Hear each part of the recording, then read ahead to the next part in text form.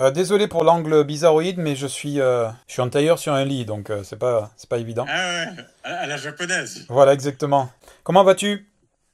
Ça va bien, ça va bien. Et toi, ça marche? Ça va impeccable. Je suis très, très, très bien. J'ai ton plan de discussion en quatre points sous les yeux. Ouais. C'est Euh, toujours bon? oui, oui, c'est parfait. Euh, qu'est-ce qu'on fait? On rentre directement dans le vif? Est-ce que tu veux faire un chapeau, une présentation? Bon, t'avais parlé de faire une intro en disant, donc il y a les quatre points là, puis t'avais prêt parlé de faire une intro en disant euh, le rôle de la Constitution qui est au sommet de la pyramide. Ensuite, les deux façons de modifier la Constitution, donc le reconstituant ou bien la constituante. Et puis, troisième point, la question du jour. Est-ce que ces deux instruments sont complémentaires ou en opposition? Et dans la mesure où il y a opposition, euh, quel est le meilleur? Ça, c'est en complément des quatre points, c'est ça? Euh, c'était en intro. D'accord. C'est moi qui ai... Mais ça, ça peut être. Euh, non, je crois que tu avais proposé qu'il y ait une intro et puis j'avais proposé ces Ok. points-là comme intro. Ça va, ben vas-y, te si la- tu veux faire une autre intro, c'est bon. Hein. Non, non, j'ai, euh, je, je t'avoue que j'avais un peu décroché, je- j'en étais resté aux quatre points, j'avais complètement oublié de l'intro, mais je pense que c'est quand même important de rappeler en, en quelques mots l'importance de, de la constitu- Constitution. Ouais, qu'on voit pourquoi on discute de ça, ouais. Voilà, Si la Constitution était sans importance, euh, le- la discussion aussi. exact, exact. Tu veux le faire ou... euh, Euh, bah, tu peux le faire, fais-le seulement si. Je peux compléter ensuite, Voilà, voilà, tu au compléteras. cas où. Ben, tout simplement, la, la Constitution, c'est la loi des lois, la loi qui Ouais, cadre toutes, toutes les lois et qui indique aussi euh, comment nous sommes représentés, euh, nous, en France, parce que tu, toi, tu es, tu es suisse. C'est peut-être euh, le cas aussi en Suisse, non, la Constitution? Ah oui, oui. Bon, la Constitution en Suisse, elle est plus épaisse qu'en France. D'accord. Donc en, en France, c'est surtout, euh, quand même, le gros, c'est comment fonctionne l'État, quoi. Qui est, que fait le président, le Parlement, etc. Voilà. C'est les règles du jeu politique, hein. Voilà, règle du jeu politique, de la représentation. Oui, d'accord, oui. en Suisse, il y a ça, mais il y a beaucoup sur euh, qu'est-ce qu'on fait dans les transports, qu'est-ce qu'on fait. Toi, tu as les, t'as les politiques aussi. D'accord. Et ça, ça vient de deux choses. D'une part, il y a le, le droit d'initiative qu'on n'a que pour euh, la Constitution. Quand les oui. gens veulent faire un truc pour, le, pour les vélos, ils, ils le mettent dans la Constitution parce qu'ils n'ont pas la possibilité de le mettre dans la loi. D'accord. Alors ça, c'est une raison. Puis l'autre raison, c'est qu'on est un État fédéral et que le, la Confédération n'a comme... Les pouvoirs, ils sont plus bas. Il n'y a que ce qui est explicitement dit. Donc tu dois explicitement leur dire, euh, les transports, ils sont de... Ce que la Confédération fait dans le domaine des transports. D'accord, d'accord. Ok. La Constitution, c'est vraiment la, la loi pour toutes les, euh, pour toutes les, les cantons, les fédérations, comment tu appelles ça? Tous les cantons, ouais. Tous les cantons, d'accord. Enfin, les, mais chaque canton a sa constitution ensuite dessous. D'accord, il y a une constitution globale, puis des sous-constitutions. Et les constitutions cantonales. D'accord, ok, très bien. Et en principe, euh, il n'y a rien, qui- euh, disons, il n'y a pas de compétence au niveau fédéral si elle n'est pas explicitement mentionnée dans la Constitution fédérale. Par défaut, euh, c'est pas la Confédération qui s'occupe de ça. Quoi. Ok. Donc ça, c'est pour la... c'est un peu spécial, on, va se centrer sur la France. Voilà. Oui, donc euh, pour la, pour Mais la c'est France... sommet de la pyramide des lois. Quoi. Voilà, C'est- exactement. C'est c'est la loi des lois. euh, c'est c'est cette... c'est la Constitution qui va déterminer quelle loi on va pouvoir faire et quelle loi on va pouvoir... on va pas pouvoir faire, ainsi que c'est la Constitution qui dit comment euh, nous sommes représentés, comment les institutions fonctionnent, etc. Euh, voilà, d'où l'importance, parce que comme c'est la loi de, de tout le reste et, de la, et qui ré- régit la, la représentation, c'est euh, la loi la plus, la plus importante. Ça, c'est pour la représentation. Est-ce que tu veux rajouter quelque chose là-dessus? Pour la Constitution, non. Maintenant, il y a donc on peut la modifier euh, de différentes façons. Et puis, euh, bon, on n'a même pas, pas, même pas besoin d'entrer Oui, dedans. non, on va... Ça, ça suffit. Voilà, Ça suffit de dire la Constitution, tu as raison. voilà. Alors, Ouais. le premier point que tu as proposé, c'est une constitution doit-elle inclure le RIC constituant pour être, pour être démocratique?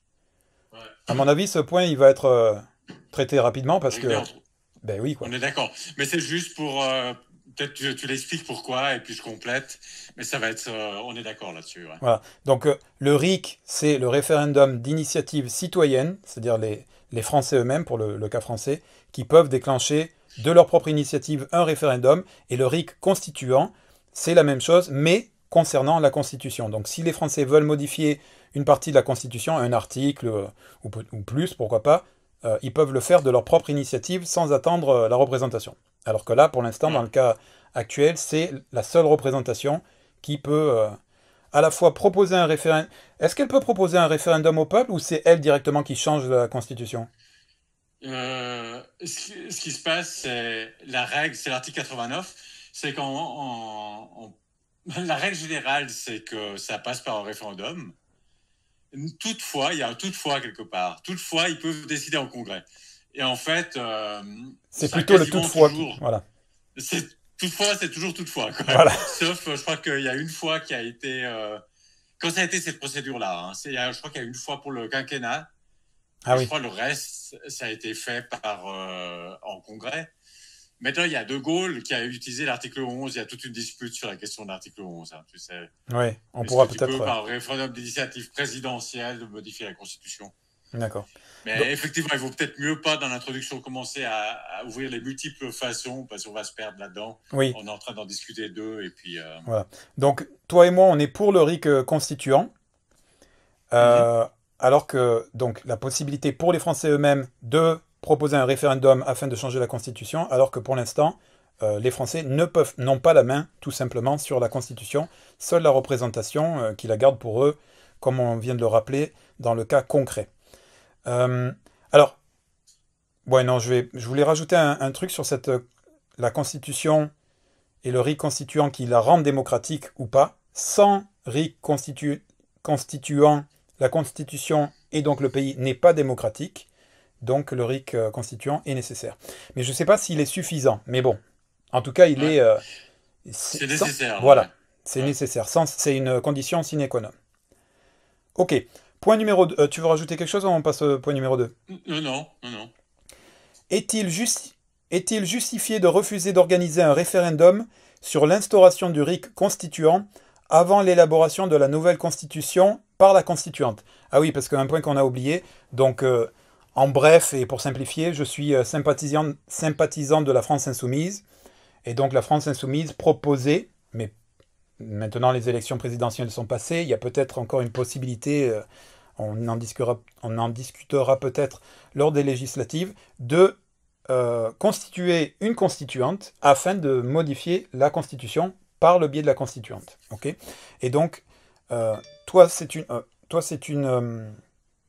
tu es, tu es critique, oh là, tu es critique de la, de la constituante, et en tout cas, ce que tu demandes, c'est est-ce qu'il est légitime, est-ce qu'il est justifié de ne pas instaurer le RIC constituant avant la Constitution, c'est-à-dire euh, la Constitution Ouais. Ça, c'est l'argument de Mélenchon. Oui. Mélenchon dit euh, je m'engage pas, enfin je suis pour, mais je m'engage pas parce que c'est la constituante qui s'en occupera. Voilà. Alors, la, la position de, de Mélenchon, ou de la, de la France Insoumise, c'est euh, la constituante, on, verra après qu'est-ce que ça veut dire exactement constituante, démarre sur une feuille blanche. Alors que toi, ce que tu dis, c'est que euh, elle peut démarrer sur une feuille blanche avec, au préalable, le RIC constituant noté. euh, voilà, la base de travail pour la constituante, c'est minimum le RIC constituant, c'est ça?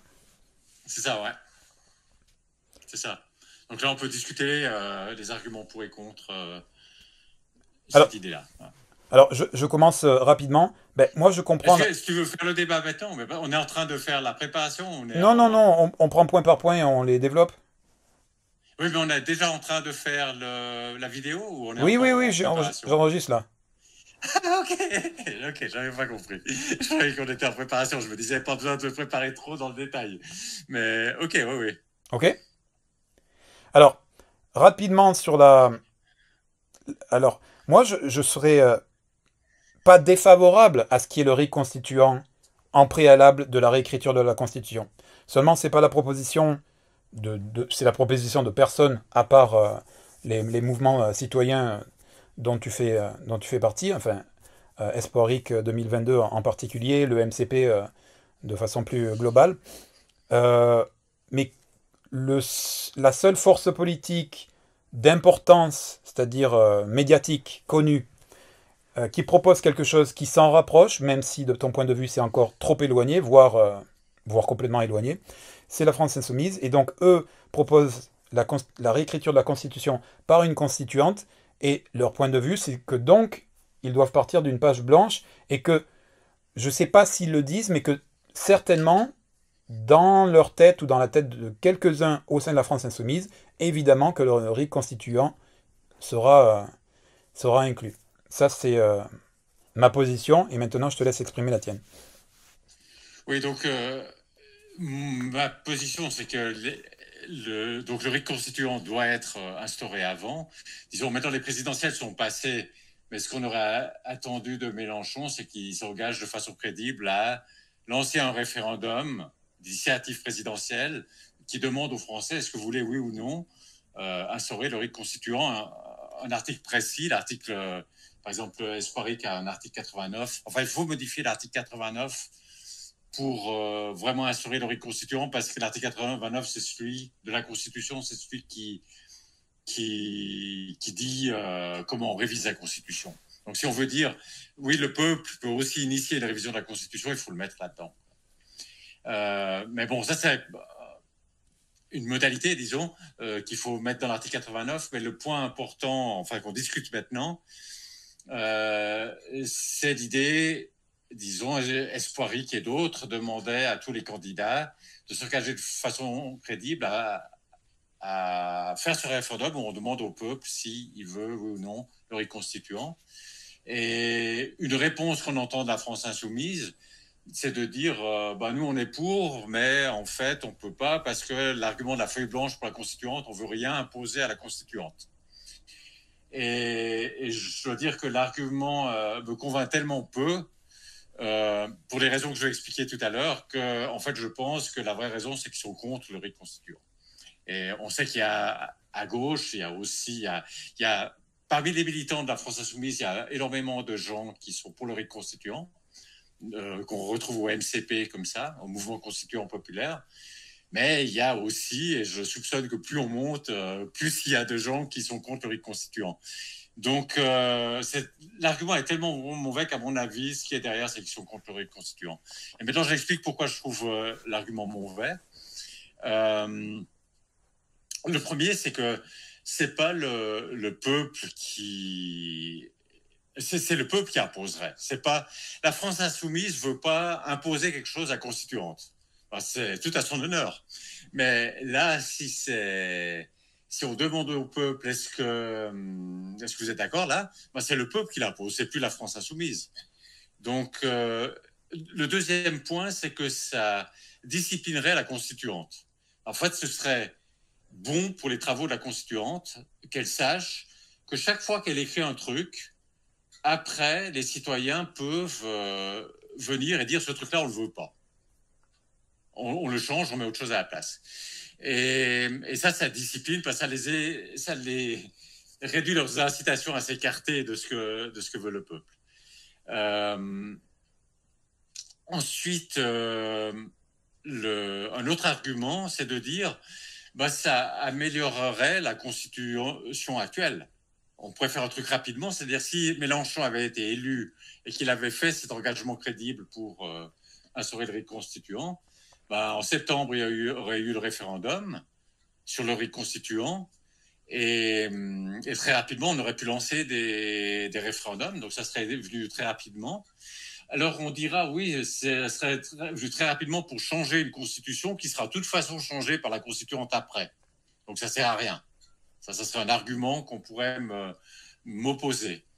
Mais à ça, je réponds, euh, je réponds deux choses. C'est que premièrement, c'est pas sûr que la nouvelle constitution passerait. Elle serait quand même, elle serait quand même soumise en bloc euh, au référendum. Alors moi, je suis très critique par le fait que ce soit soumis en bloc et pas sujet par sujet, mais disons au moins c'est soumis en bloc.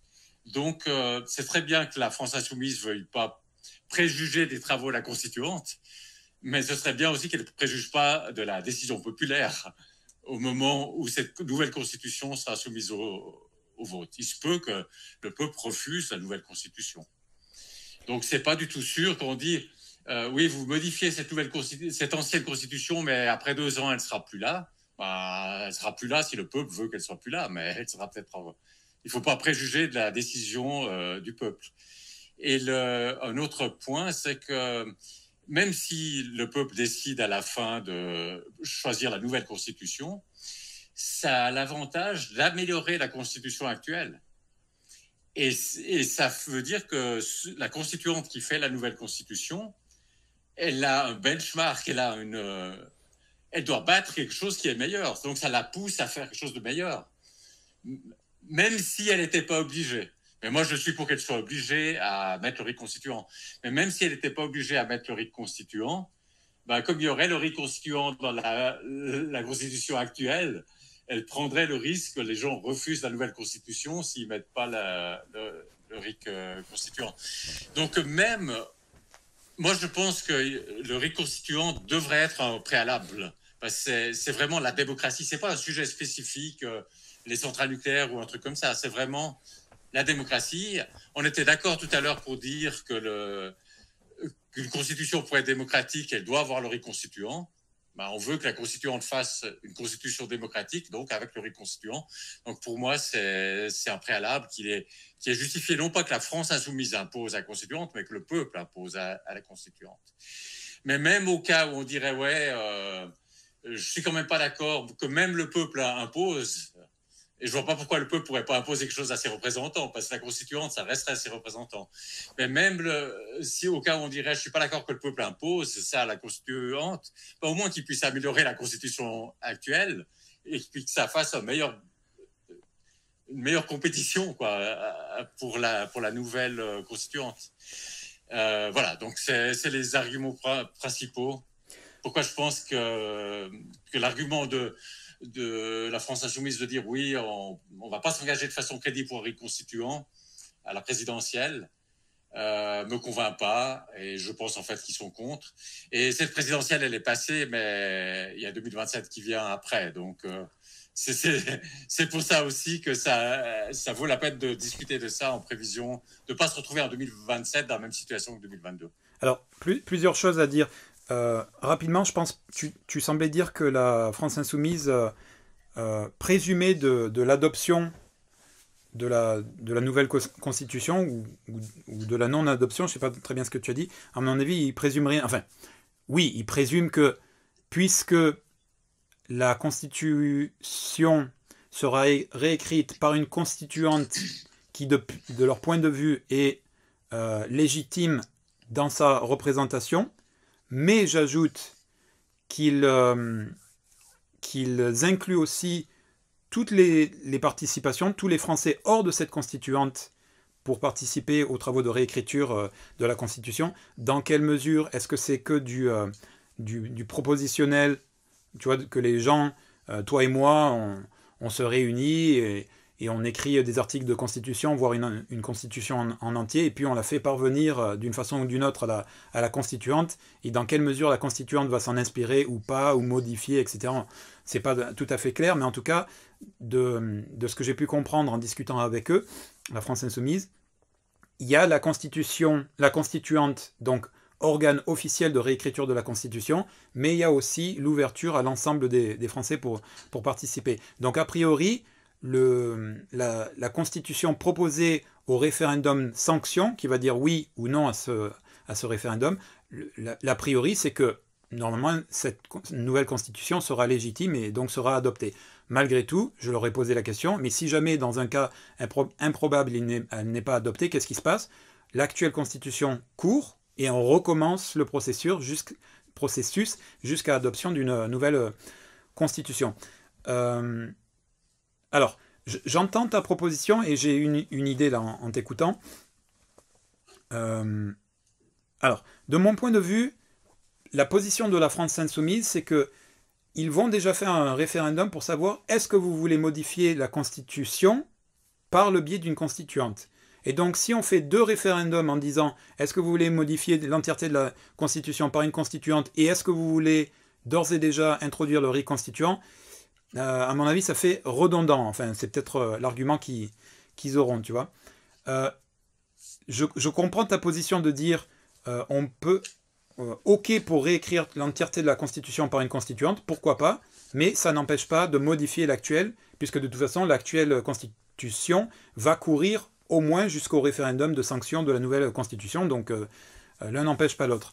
Alors, je suis d'accord avec toi, mais je pense qu'encore une fois, l'argument, ce sera, c'est ce que tu as dit, c'est que c'est redondant, quoi, puisque de toute façon, on va tout changer, et que d'ici là, on applique le programme de la France Insoumise, qui est un programme social, écologique, etc. Il y a du, point de vue de la France insoumise, je suis putain, hein, je pense, euh, on va pas s'embêter à euh, commencer dans l'intervalle relativement court de deux ans, parce qu'apparemment la, constituante aurait deux ans, euh, pour écrire la, constitution, de, de, changer, tu vois, si on met le reconstituant, ça veut dire que dans l'intervalle des deux ans de réécriture de la nouvelle constitution, il y aura peut-être des gens qui proposeront une, modification de, la Constitution. Je pense que la France insoumise dit allez, on fait tout d'un bloc, et, euh, voilà. Euh, malgré tout, j'entends ton point et j'essaie de, trouver un, chemin de, de un chemin d'entente, tu vois, entre les deux. C'est que peut-être, mais je ne pense pas être entendu, on pourrait proposer à la France insoumise de, de, c'était quoi mon idée? Oui, de faire un seul référendum.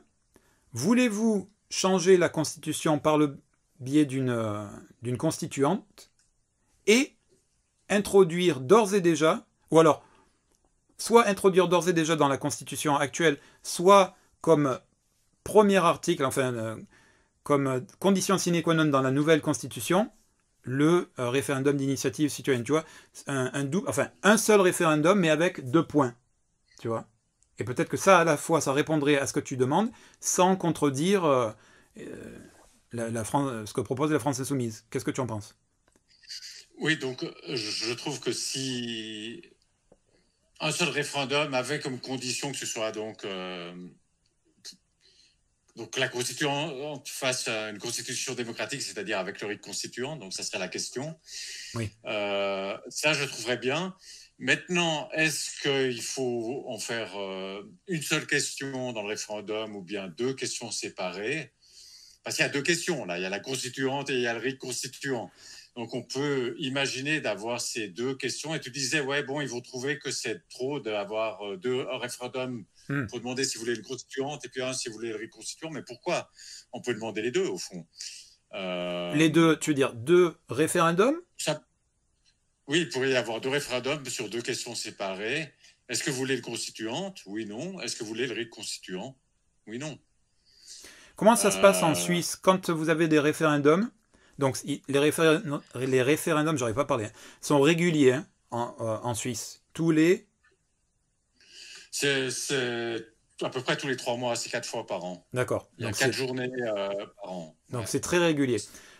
et donc, lors de ces, de ces séances de, de référendum, il n'y a pas une seule question, il peut y avoir plusieurs questions, c'est ça, un ensemble de questions oui, mais c'est des référendums séparés, c'est-à-dire c'est des, des, questions séparées où tu réponds oui ou non à chaque question séparément. Parce que tu, tu, as des, par exemple, on a le 15 mai, c'est la prochaine. La prochaine votation en Suisse, c'est le 15 mai. Il y a quelque chose, une question, il y a trois questions au niveau fédéral. Une qui concerne euh, le soutien au, au film suisse, une qui concerne le don d'organes et puis une qui concerne l'augmentation du financement euh, suisse à Frontex, donc ah. l'organisme qui s'occupe des, des, frontières euh, dans l'Union européenne. Donc c'est trois questions complètement différentes. Vous êtes concerné par Frontex? Oui, parce qu'on est dans Schengen. Ah d'accord, ok. On n'est pas dans l'Union européenne, mais on est dans Schengen. Donc, euh, c'est trois questions différentes, et puis chacune a son, T'as question sur ta fiche. Ok, donc ce que euh, tu dis, c'est que par rapport à, la situation que tu connais, c'est-à-dire des référendums réguliers et multiples, tu ne vois pas de, contradiction ou de difficulté à faire plusieurs référendums, euh, même euh, concomitants. Et le truc que, je viens de réaliser, c'est que si on fait un seul référendum avec une double question, voulez-vous réécrire l'entièreté de la constitution par une constituante et voulez-vous le RIC constituant Si tu réponds oui ou non, et que tu que es d'accord avec un des deux, en fait, c'est oui ou non à deux, quoi. Oui, tu n'as pas tout à fait l'unité de matière. En, Suisse, on appelle ça l'unité de matière. Là, on pourrait dire, bon, c'est une révision de la Constitution, donc il y a unité de matière quand même. C'est ah, deux sujets de révision de la Constitution, mais, mais quand même, ça serait plus propre, je trouve, d'avoir deux questions euh, euh, séparées. Mais en Suisse, on a aussi la situation, là, je te le disais, euh, donc le, 15 mai prochain, c'est trois questions complètement différentes. mais il y a des fois sur la même question, des, des sous-questions, si tu veux. OK. Ça arrive, par exemple, quand il y a une initiative qui propose, euh, qui propose quelque chose. Et puis ensuite, le Parlement propose un contre-projet. Ah oui, oui, oui. on va dire, est-ce que vous êtes pour l'initiative, oui ou non? Est-ce que vous êtes pour le contre-projet, oui ou non? Et si les deux passent, lequel vous des deux vous voulez que ça passe?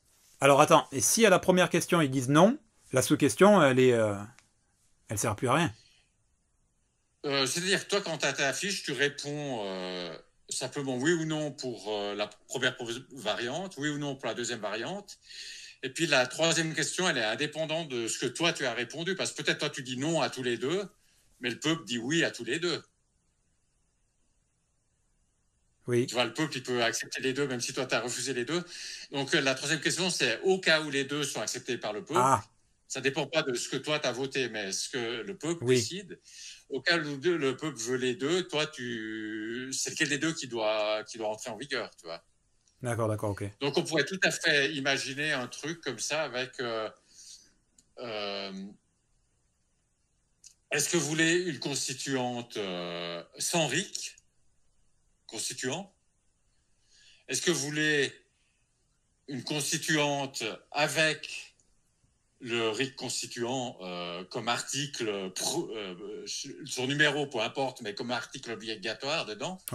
Avec en disant, ça serait l'article 89, enfin, l'article, il est déjà écrit, voilà. L'article déjà écrit, est-ce que vous voulez qu'il soit quelque part dans cette constituante, dans cette constitution faite par la constituante? Et puis voilà, tu as les deux questions, et puis si les, deux sont acceptées par le peuple, ce qui peut aussi arriver, euh, laquelle des deux doit vraiment entrer en vigueur D'accord, d'accord. Et ça, c'est un référendum, ça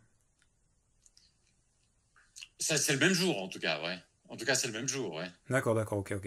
Et c'est sur la même fiche. Ah voilà, voilà, c'est ce que j'allais demander. Euh, ça se présente sous une même fiche, un, même papier. Sur la fiche. Et, toi, tu dois cocher, c'est ça?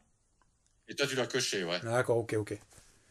Ok, bon, alors, après, il y aurait peut-être, là j'essaie de réfléchir. oui, enfin tu coches, tu mets euh, là, j'ai un blanc tout d'un coup. Ou t'écris oui ou non, je sais plus. Mais oui, oui. Enfin, c'est oui, non, euh, voilà. D'accord, ok. Alors là, l'argument euh, qu'on pourrait nous opposer, c'est que c'est pas la culture française, tu sais. Nous, on, on met un papier, on n'écrit rien dessus, quoi. Donc, donc c'est ce qui serait un mauvais argument, mais ce serait l'argument certainement. Ouais, ce qui serait un, assez mauvais argument. Ouais, Mais puis, disons, pour ce qui est de la constituante, on pourrait faire comme je, comme je, je viens de dire. Disons, Techniquement, il n'y aurait aucun problème. Et puis, ça n'empêcherait pas de poser encore une autre question, alors séparée, qui est, pour ce qui est de la Constitution actuelle, pas de la nouvelle Constitution faite par la Constituante, mais dans la Constitution actuelle, est-ce que vous voulez déjà mettre le rite constituant? Ça serait une question. Il y aurait une question avec deux sous-questions qui concernent la nouvelle Constitution qui sera faite par la Constituante, et puis l'autre question qui concerne la Constitution actuelle, qui a priori, on ne sait pas si elle va durer quand même. Oui, oui, Elle sera peut-être, euh, puisque c'est pas sûr que le peuple accepte la nouvelle constitution. Donc, euh, euh, probablement que le peuple voudrait, dirait oui pour la constituante et puis probablement avec le reconstituant, mais il voudrait aussi pouvoir déjà maintenant modifier la constitution pour le cas, soit parce qu'elle dure après, parce que l'autre, ils font tellement un mauvais travail qu'elle dure, soit simplement pour là, il n'y a même pas l'histoire de l'AT parce que c'est déjà fixé qu'ils devront mettre l'article 89, enfin l'équivalent d'un article 89. D'ailleurs, dans, dans, le modèle suisse, est-ce qu'il y a une date Tu sais, euh, euh, on écrit l'article en entier pour, pour, que les gens sachent bien pourquoi ils votent, pour ou contre. Et est-ce qu'il y a aussi une date Si c'est adopté, enfin, je veux dire, s'il euh, il y a une majorité pour dire oui, ça doit rentrer en vigueur à telle date ou est-ce que la date n'est pas indiquée? Quand tu as des initiatives en Suisse, c'est toujours pour modifier la Constitution. Oui. il manque l'initiative, mais il manque malheureusement l'initiative pour changer des lois ordinaires. Donc c'est pour changer la Constitution et puis ben, le lendemain de la votation, la Constitution est changée. D'accord, d'accord, ok. Alors ça ne veut pas dire que c'est fini parce que suivant l'article constitutionnel que tu as mis, peut-être qu'il faut une loi d'application. Ok. pour appliquer l'article constitutionnel. Euh, et la loi d'application, euh, bah, elle n'est pas, elle pas déjà faite. Et, justement parce qu'il n'y a pas l'initiative législative, tu ne peux pas non plus venir directement avec. Euh, ce que font en général les initiants quand ils lancent une initiative, ils disent la loi d'application doit être faite dans les deux ans ou ça dépend du sujet, tu vois. Ah oui, d'accord. Il y a quand même un délai indiqué quand même. Bah, si es malin, tu fais ça, ouais. Sinon, ça, ça risque de venir jamais, quoi. Vous avez dit oui. Dans 10 ans, on verra. Euh, ok. Donc, ça voudrait dire que dans le l'hypothétique référendum dont on discute, il y aurait en réalité quatre questions. Constituante sans RIC, constituante avec RIC, lequel des deux s'applique euh, Voilà. Et euh, ça, c'est le premier groupe. Ça, c'est le premier groupe. Voilà, premier groupe, trois questions. Un premier, un premier groupe, et après, tu en as une autre sur la constitution, constitution actuelle. Est-ce que vous voulez mettre ce RIC euh, constituant dans la constitution actuelle Ouais, ok, ok. Alors, très, très sincèrement, euh, je, je, suis d'accord avec toi sur le fait que l'argument de dire c'est pas la culture française, euh, tu vois, c'est un, un, argument un peu bancal. On change rien, quoi. C'est le statu quo et on bouge pas. Malgré tout, malgré tout, et très sincèrement, hein, c'est pas, j'essaye pas de me défiler là.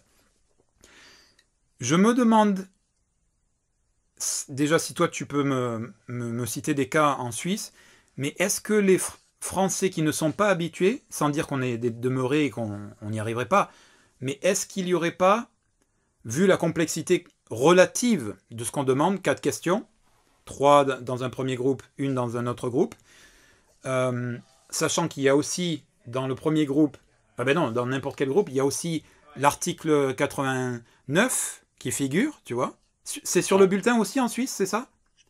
Non, c'est pas sur le bulletin, mais c'est dans. Tu reçois une brochure euh, d'explication, et puis là, tu as le texte de loi qui est écrit en entier, donc euh, à la virgule près. D'accord, ok. Bon, ça serait euh, donc la même chose ici, j'imagine.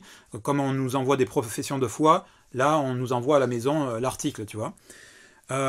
Est-ce que comme on n'a pas l'habitude de ça, et que c'est relativement complexe, relativement, ok Est-ce qu'il n'y aurait pas une sorte de déperdition avec beaucoup de ce qu'on appelle de, bulletins nuls? Le bulletin nul, c'est quand tu...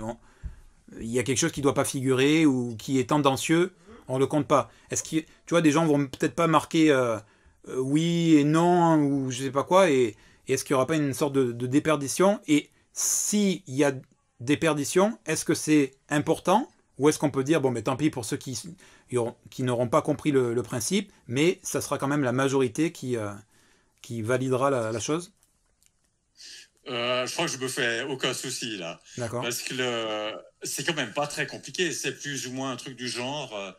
Euh, voilà, vous êtes un groupe de copains, vous allez au restaurant, vous pouvez commander une grande pizza. et puis la question, c'est est-ce que cette pizza? Et puis la deuxième, c'est est-ce que c'est une pizza avec des oignons hein, Un truc en plus? Ouais, ouais. Euh, et puis si les deux sont acceptés, alors si aucun est accepté, c'est pas une pizza. Puis si les deux sont acceptés, euh, est-ce que ça sera la pizza sans les oignons ou avec des oignons? Je, veux dire, je crois que les Français auront aucune peine à se débrouiller avec ça. Ok, ok. J'espère. J'ai en tête euh, l'une des dernières vidéos de la chaîne Le Média pour tous. Je sais pas si tu connais. Ouais. Et c'est un micro-trottoir où il, il demande aux gens dans la rue et quand tu vois les réactions, tu te dis mais punaise. Mais bon, euh, je ne sais pas s'il fait exprès de. Il y, a, un débat avant. Hein. Il y a un débat avant aussi. Donc il y a toute une campagne avant la votation. Alors le, processus dans sa globalité, avec le débat, présentation, réception de, de, de la brochure à la maison jusqu'au au vote, ça prend combien en général en Suisse? Euh, Tu vois, on a, on a une journée de votation tous les trois mois à peu près. Oui. Donc, quand, quand maintenant on en a eu le, le 15 mai, on ne parle pas de la suivante. Trois mois donc, donc intervalle. ouais. Puis ça commence pas forcément directement le lundi après le dimanche, tu vois. Donc trois, trois mois, ouais. Bah, disons trois mois. Euh, en réalité, il commence pas forcément le lendemain de la votation à préparer la, la prochaine, la, vraiment la campagne. Mais d'un autre côté, il faut dire que quand tu as eu une initiative, il a fallu récolter les signatures, tu vois. Donc, il y a déjà eu dans la ah presse de voilà, ils sont en train de récolter, voilà, ils ont réussi à réunir les signatures. Donc, tu as déjà la discussion, euh, déjà une année avant, si tu veux. Mais, mais le cœur de la campagne, c'est, disons, deux mois et demi. Mais alors, ça me fait dire que entre les élections présidentielles et les élections législatives, il y a quoi? Il y a un mois, deux mois? En France? Il y a un mois? Euh, bon, plus... Attends, c'était le 24 avril et puis vous êtes vers euh, mi-juin là. Je Ouais. sais plus, euh, je sais plus, plus en tête. Donc ça veut dire que c'est plus court que trois mois. Ouais, c'est plus court là. Et donc, Ouais, si- Il y a plus de temps. et donc s'il fallait euh, présenter aux Français euh, qu'est-ce que le RIC constituant, euh, tu vois, faire campagne pour, contre, etc., etc., le délai aurait été trop court entre la présidentielle et les législatives, non? Ah, mais le- l'idée d'Espoiric, parce qu'il y a d'autres problèmes qui font que le délai. Tu peux pas, le- tu peux pas avoir le référendum avant les législatives. D'accord, ok. Parce qu'il y a aussi, euh, euh, si le président le, il y a la possibilité que quelqu'un fasse opposition. Enfin, euh, je ne sais plus si c'est le Parlement ou le Conseil constitutionnel. Et puis, en principe constitutionnel, il n'a pas à se prononcer. C'est l'article 61, je crois, de la Constitution française. Il ne se prononce pas sur les référendums proposés par le président. D'accord. Mais il peut se proposer, il peut se, Proposer. se, se poser, enfin, il peut se prononcer sur Ah. euh, ce que fait le Parlement, Euh, mais pas sur. euh, mais bon, euh, on sait que euh, il peut y avoir des problèmes. Il peut y avoir quelqu'un au Parlement qui fait opposition au conseil, vis-à-vis du Conseil constitutionnel. Le temps que tout ça se clarifie, ça prend quelques mois. Ça prend quelques temps. C'est pour ça que Espoiric disait pas que la, le référendum aurait lieu avant les législatives, mais que le décret organisant le référendum serait promulgué avant les législatives. D'accord, ok. Comme ça, le président a fait ce qui dépend de lui. Il aurait promulgué le décret, puis après, ça aurait forcément lieu, mais le référendum lui-même aurait lieu après. Ah, ok, ok, ok. J'avais pas compris cette euh, subtilité. Euh, juste pour dire, en le temps, avec euh, deux mois et demi ou trois mois de, euh, de débat, c'est plus de temps qu'il y a. Que les Français, ils- ils- en France, il y a le, la présidentielle et chaque législative, c'est un mois, quelque chose comme ça. Et, et là, c'est bien plus. Donc, il y a bien le temps euh, pour, euh, pour tous ces débats, etc. Et donc, euh, je crois que les Français n'auraient aucun problème à, D'accord. à choisir là. Ouais. Euh, une parenthèse avant de, de passer au troisième point.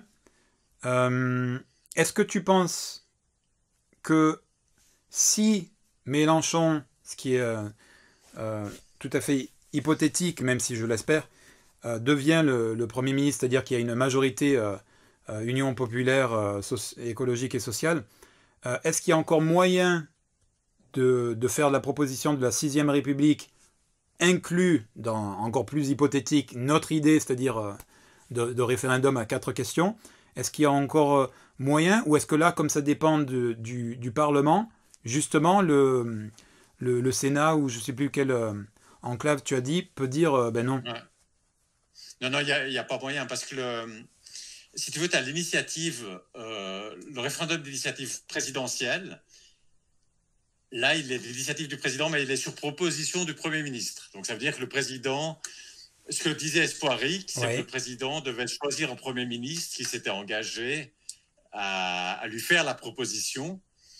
Et puis ensuite, le président ferait le, le référendum. Alors, c'est-à-dire que si. Clara avait gagné, il fallait aussi avoir un Premier ministre qui lui fasse la proposition? Ouais, mais ce qu'il y a, c'est que avant les législatives, elle aurait nommé son propre, elle aurait nommé Raoul, tu vois. elle aurait nommé Raoul comme Premier ministre avant les législatives. D'accord, d'accord. Après les législatives, elle aurait pris comme Premier ministre euh, quelqu'un qui sort de la majorité euh, euh, parlementaire. Mais avant, elle aurait pris Raoul, et puis Raoul lui aurait euh, Et ça, proposé. le- D'accord, ça c'est autorisé de, pour le nouveau président de, de former un gouvernement ou au moins un premier ministre avant les législatives. C'est pas, c'est Euh, permis. oui, oui, je pense. D'accord. Je pense. ouais. Ouais, c'est complexe. Ok. Mais par contre, euh, juste le Premier ministre, je ne crois pas qu'il puisse faire un référendum. Donc c'est-à-dire que, Ça- ben je je sais pas, mais je Il pense. proposerait à Macron. Voilà. Il proposerait à Macron. Et Macron, il dirait- Macron, euh, Il dirait non. c'est réglé. Ok, ça va. Ben, ça va être. euh, Enfin, j'ai quand même espoir, mais ça va être euh, plus que compliqué, quoi. Ok. Alors le troisième point. Oui, vas-y. Juste une, une- une parenthèse encore sur euh, toujours sur le deuxième point avant de passer au Oui, troisième. oui, oui. Tu avais mentionné ce- une chose que dit la France insoumise, c'est que ce serait pas juste la constituante, mais qu'il y aurait au fond la société civile serait consultée, etc. là, bon, il y a la question de savoir dans quelle mesure ce serait pris en compte. Et, il n'y a justement pas de pouvoir juridique. Euh, de, ces euh, pétitions, de ces manifs, de ces, euh, etc. Il n'y a pas de pouvoir juridique. Euh, donc, c'est pas sûr que ce soit pris en compte. Et puis, quelque part, c'est assez logique parce que imagine que tu as un million de personnes, de citoyens, qui signent une pétition ou qui font une manif. Peut-être tu en as 40 millions qui sont contre. Oui c'est possible. Hein. Donc, euh, c'est pas complètement illégitime de dire euh, je suis pas obligé de prendre en compte ce qu'a 10 millions de citoyens parce que c'est une petite minorité. Oui, mais dans le cadre du, référendum d'initiative citoyenne en matière constituante, je, crois que vous le rappelez euh, au sein du MCP et toi sur ta chaîne, il y a une majorité écrasante de, Français dans les sondages qui sont favorables. Ah oui, oui. Mais oui, Donc, ça serait, ça serait difficile pour la constituante euh, euh, parce qu'on n'a pas parlé de cette histoire de constituante, mais d'après la France insoumise, cette constituante, en réalité, elle est, elle est, euh, elle est constituée par les Français eux-mêmes. Mais les Français, c'est quand même ça aussi, c'est assez. Ah, les représentants des Français. Non, non, attends. non, non, non, non, attends, attends. Par les Français, par les Français.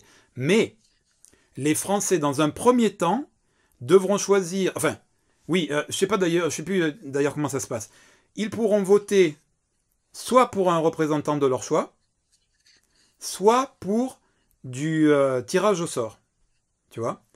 Dans la réalité, très certainement, le tirage au sort sera extrêmement minoritaire. Alors, dans, on pourrait penser que la constituante serait moitié tirée au sort et moitié euh, d'élus euh, de, l'extrême droite vers l'extrême gauche, tu vois, selon les, votes des Français.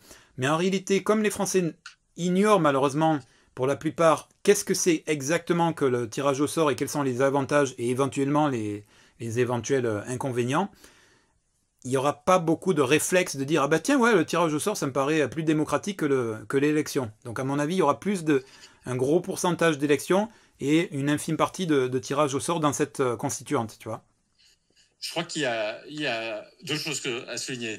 Premièrement, c'est quand même des représentants, c'est-à-dire que le, peuple va choisir des représentants, soit par tirage au sort, chaque citoyen, soit par tirage au sort, soit il dit euh, c'est celui-là que je veux qu'il me représente.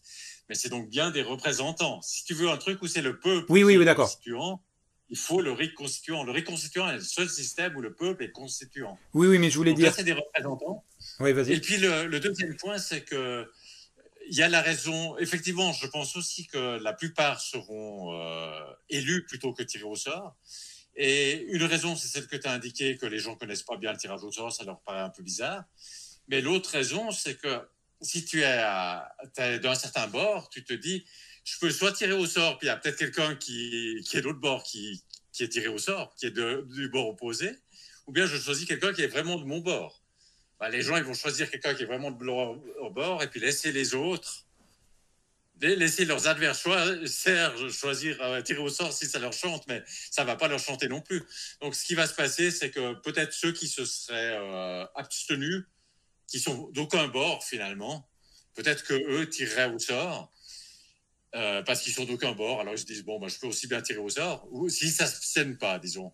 Mais les autres, euh, je pense que les autres, euh, ils choisiront chacun quelqu'un de leur bord. Alors, mais dans l'idéal, c'est vraiment tout à fait théorique ce que je vais dire.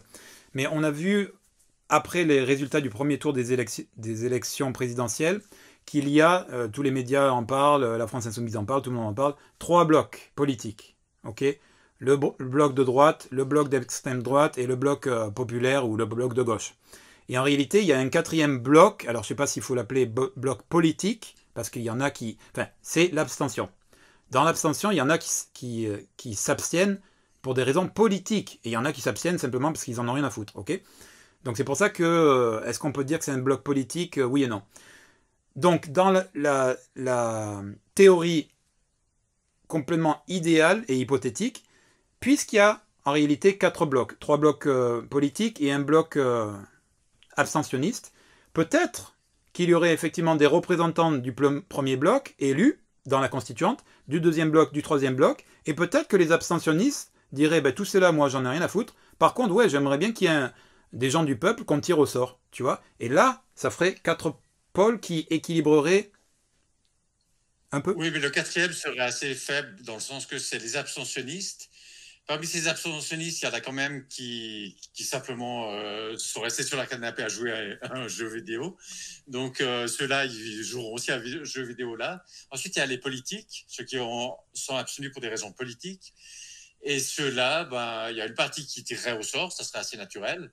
Puis il y a une partie qui va se dire, mais ben, oui, dans ce truc-là, non plus, je veux pas euh, me salir les mains dans cette histoire. Oui, oui. Euh, de toute façon, c'était très, très hypothétique ce que, ce que, je racontais. Mais malgré tout, est-ce que tu ne trouves pas que c'est quand même légitime? Parce que c'est ce que tu disais tout à l'heure.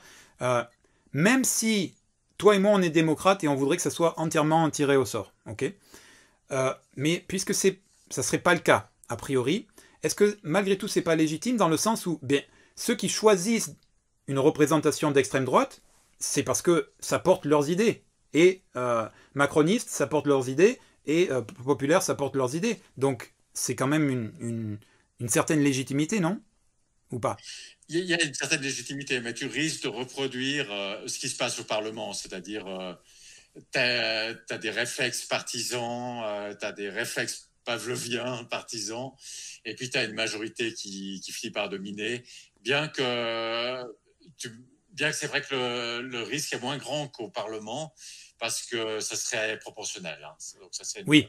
Ça serait nettement meilleur qu'au Parlement. Alors, mais je m'interroge aussi, je comprends qu'il y ait des réflexes partisans au niveau législatif, parce que c'est le législatif qui, qui va dire comment la société est organisée, comment la, société s'organise, mais est-ce qu'il peut y avoir ces mêmes réflexes et dans quelle mesure ça impacte au niveau constitutionnel? Parce que la Constitution, elle est pas de droite ou pas de gauche, normalement. Ouais. Dans quelle mesure ça impacte, tu veux dire euh, Oui, si, pour, écrire une constitution? Voilà, si la constituante est majoritairement élue, tu vois, dans quelle mesure ça va la, faire, ça va faire une constituante plutôt de droite ou plutôt de gauche?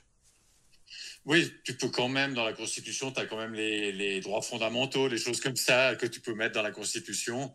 Et Qu'est-ce que c'est qu'il faut mettre dans ces droits fondamentaux euh, suivant, une perspective de gauche ou de droite, c'est pas forcément exactement la même chose. Oui, mais alors là, là par contre, je pense que l'idée de la sixième République, de la réécriture de la Constitution par une constituante, ça touche la Constitution, mais ça touche pas le bloc constitutionnel. Le bloc constitutionnel, c'est, euh, tu le sais, mais je le dis pour les, les auditeurs, les spectateurs, c'est euh, les droits, la Déclaration des droits de l'homme et du citoyen, le, je sais pas quoi, un texte sur euh, euh, l'écologie, l'environnement, l'environnement, voilà, euh, la Constitution et le préambule de je sais plus, je sais plus quel autre. le préambule de, voilà. d'une version antérieure ou quelque chose comme ça. Voilà, voilà.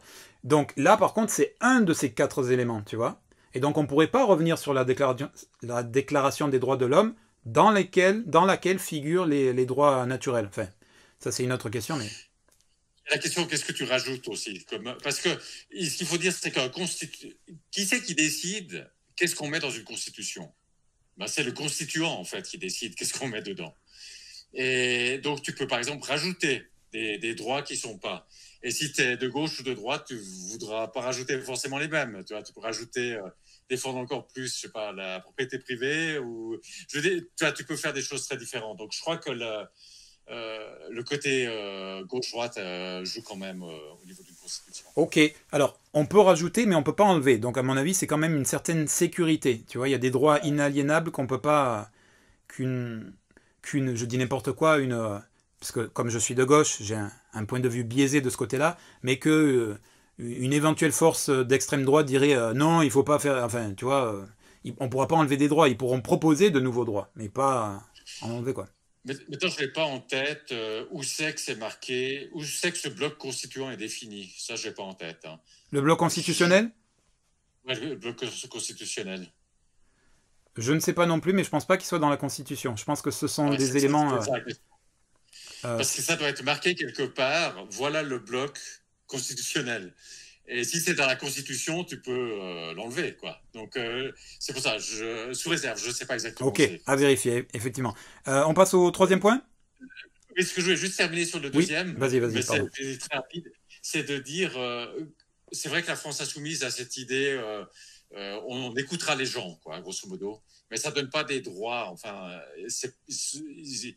et quelque part, c'est un peu normal parce que ben, tu écoutes des gens, mais tu sais pas dans quelle mesure ils sont représentatifs.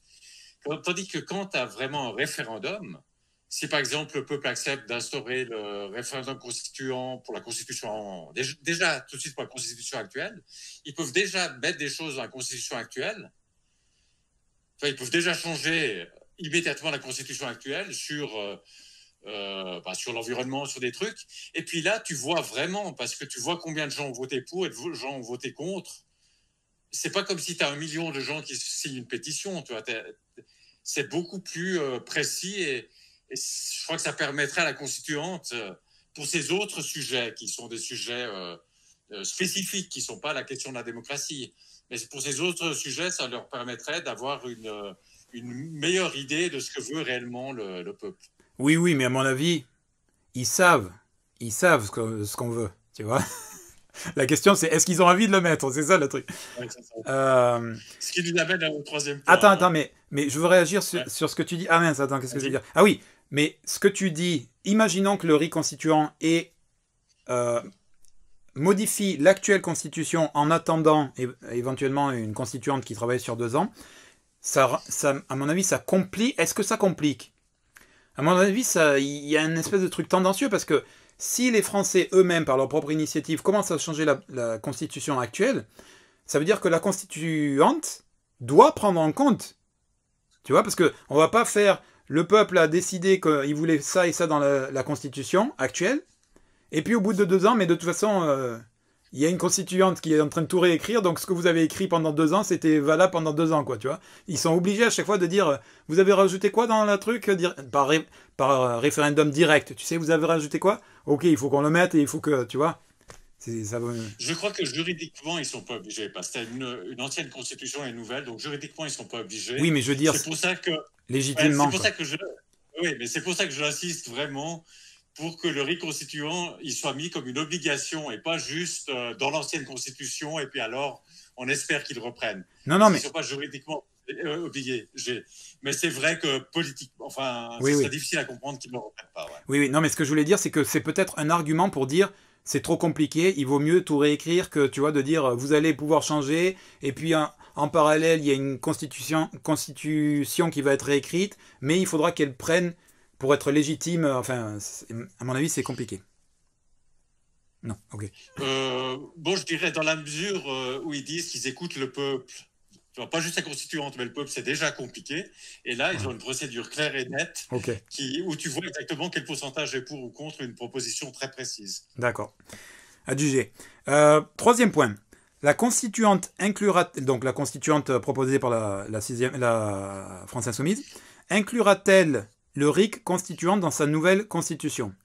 Donc là, c'est vraiment euh, un autre scénario, c'est-à-dire il n'y a pas de référendum sur le RIC constituant, il y a seulement euh, le, référendum sur voulez-vous changer la, constitution, putain on va y arriver, par une constituante. Et donc, dans ce scénario-là, est-ce qu'on est assuré que cette constituante va inclure le, RIC constituant? Alors, on n'est pas assuré, pour répondre très clairement. Mais dans la mesure où le RIC constituant est plébiscité, dans les sondages à 70% ou c'est quoi 60 70 73 le RIC constituant. Voilà. Et que il y aura une sanction, c'est-à-dire un, référendum pour euh, dire oui on veut cette nouvelle constitution au bout de deux ans ou peu importe, non on n'en veut pas. Si dans cette nouvelle constitution il n'y a pas le RIC alors qu'il est plébiscité à 73%, à mon avis, ce sera non ou ça sera oui, mais non? Non, parce que ils peuvent mettre d'autres trucs bien. Si, la nouvelle constitution elle est meilleure que l'ancienne, mais il n'y a pas le reconstituant, mais quand même, je veux dire, l'ancienne, elle est ancienne. et, si elle est meilleure, et c'est assez facile à faire meilleure quand même que la constitution actuelle, si elle est meilleure, euh, ben, juste rationnellement, à, à, moins que les gens veulent sanctionner la constituante pour pas l'avoir mis, euh, pas pour, pour pas avoir mis le constituant, mais autrement, juste rationnellement, ils vont se dire, bah, celle-là, elle est meilleure, je la prends. Vrai. Donc non, c'est n'est pas nécessaire. Et si je regarde la... j'ai de grosses craintes que la constituante ne le mette pas. premièrement, parce que Bon, d'abord, je ne sais pas exactement dans quelle mesure la constituante sera représentative des citoyens. Euh, mais deuxièmement, même au cas où elle était représentative, euh, les gens changent. Ils pouvaient être représentatifs au début, ah. quand ils sont rentrés le premier jour, puis après ils changent. Et je pense là à la Convention citoyenne pour le climat. Là, c'était tiré au sort. On pouvait espérer que ce soit grosso modo représentatif. Je dis grosso modo parce que ben, l'échantillon n'était pas assez grand pour être représentatif, juste avec la loi des grands nombres. Disons, quand on fait un sondage, on prend plus de gens que ça. Euh, et puis la deuxième raison, c'est parce que les gens pouvaient refuser de participer. Et il se peut que ceux qui refusent, ben, ils, avaient certaines caractéristiques, tu vois. Par exemple, que ceux qui acceptaient, c'était ceux qui étaient particulièrement sensibles aux questions environnementales, ou climatiques. Et que ceux qui s'en fichaient, euh, euh, avait plus tendance à, que les autres à refuser de participer. Donc c'est possible que cette Convention citoyenne pour le climat n'était pas tout à fait représentative. Mais disons, grosso modo, on peut espérer qu'elle était quand même pas trop mal en termes de représentativité. mais ce qu'il y a, c'est qu'à la fin, ils ont décidé de ne pas faire de référendum. Ils n'ont pas voulu, c'est eux qui ont décidé de ne pas soumettre leurs propositions au référendum. Alors, alors que je suis quasiment sûr que la plupart des citoyens auraient dit ouais mais nous on veut pouvoir voter sur le truc. Et donc ça veut dire qu'ils ont évolué parce que évidemment ils ont appris des choses etc. Et après ils ont pris de la distance par rapport aux, citoyens et je crois que moi ma crainte c'est que les constituants fassent une constitution, disent on a bossé deux ans là-dessus. Au début on était comme les autres mais maintenant on n'est plus comme les autres. Et maintenant on a fait un truc bien, un petit chef d'œuvre et on ne veut pas donner la possibilité à ces gueux euh, de d'amender cette constitution. Alors, je suis pas du tout d'accord avec toi. D'abord sur la, constituante sur le climat, là, le truc. Euh, convention. Convention sur le climat. Les gens changent nécessairement parce qu'ils rentrent soit avec euh, leurs propres idées, soit euh, sans connaître véritablement le sujet. Et ils vont être soumis à différents experts, différentes informations, contre-expertise, etc. Et donc tout ce, toutes ces informations et tout ce processus va nécessairement les faire évoluer. Parce que c'est ça aussi le, but de... C'est pas tu arrives avec ton idée et peu importe le travail qui va être fait pendant, pendant le processus et à la fin tu dis non mais moi j'avais dit ça au départ. Quoi. Euh, Super bien, ouais. Voilà. Ah, mais je voulais dire évoluer dans le sens oui, négatif. tellement distant du tellement distant du peuple que tu te dis, tu prends la même attitude que les élites, tu te dis, c'est peu, je veux pas qu'ils décident. Oui, oui. Alors, dans la constituant, dans la convention sur le climat, il y a eu une évolution, mais moi je vois pas d'évolution négative. Sur cette histoire de référendum, j'étais pas au courant qu'ils pouvaient choisir référendum parce qu'il me semble que c'était euh, il s'appelle Macron qui disait je la prendrai sans filtre, c'est-à-dire euh, le travail que vous allez euh, fournir, je le prends et je l'adopte, tu vois. Alors que depuis le départ, évidemment, enfin, je sais pas comment on fait pour tomber dans le panneau, mais évidemment que c'était que de la communication, tout ça. Et c'est à double tranchant parce que au départ, ça lui, ça lui donne une bonne image. Waouh, regardez, il est disruptif, euh, il fait vraiment participer les gens et sans filtre et tout ça. Ça lui donne une bonne image au départ. Et, nécessairement, on sait très bien qu'il va pas le prendre. Même lui, il le sait au départ, tu vois. Alors je sais pas qu'est-ce qu'il a dans sa tête parce qu'au final, il aura une mauvaise image en disant mais vous prenez les gens pour des cons et vous avez dit sans filtre et maintenant vous avez tout jeté à la poubelle et tout. Donc je, Enfin, je pense qu'ils sont court-termistes, mais euh, c'est une autre histoire. Bref, en tout cas, il me semble que on peut toujours critiquer, mais il me semble que le travail que cette euh, constituante sur le... Euh, c'est quoi? C'est convention citoyenne, je crois. Convention citoyenne sur le climat. Le résultat qu'elle a donné était positif. Et moi, ma grille de lecture, comme je suis sympathisant de la France insoumise, c'est que ce qu'ils ont proposé était euh, à, majeure partie dans le programme euh, qu'on défend. Pourquoi? Parce que le programme qu'on défend, en fait, il, vient de la société civile. Donc, euh, c'était une micro-société civile qui devait s'exprimer. Donc, c'est redondant ou ça confirme, etc. voilà. Donc, donc, ce travail, cette, ce groupe-là, des 150 citoyens, à mon avis, c'est un bon exemple. Évidemment, après, il ne faut pas que, que ça soit pris, que le travail soit pris ou non par un, par un président, mais il faut qu'il s'applique parce que il faut parce que ça soit les gens eux-mêmes. Ensuite, euh, autre chose. Juste un truc là, je me prononce pas sur le ce sur les propositions oui, oui, oui, de la Convention Oui, oui, oui, mais tu te prononces.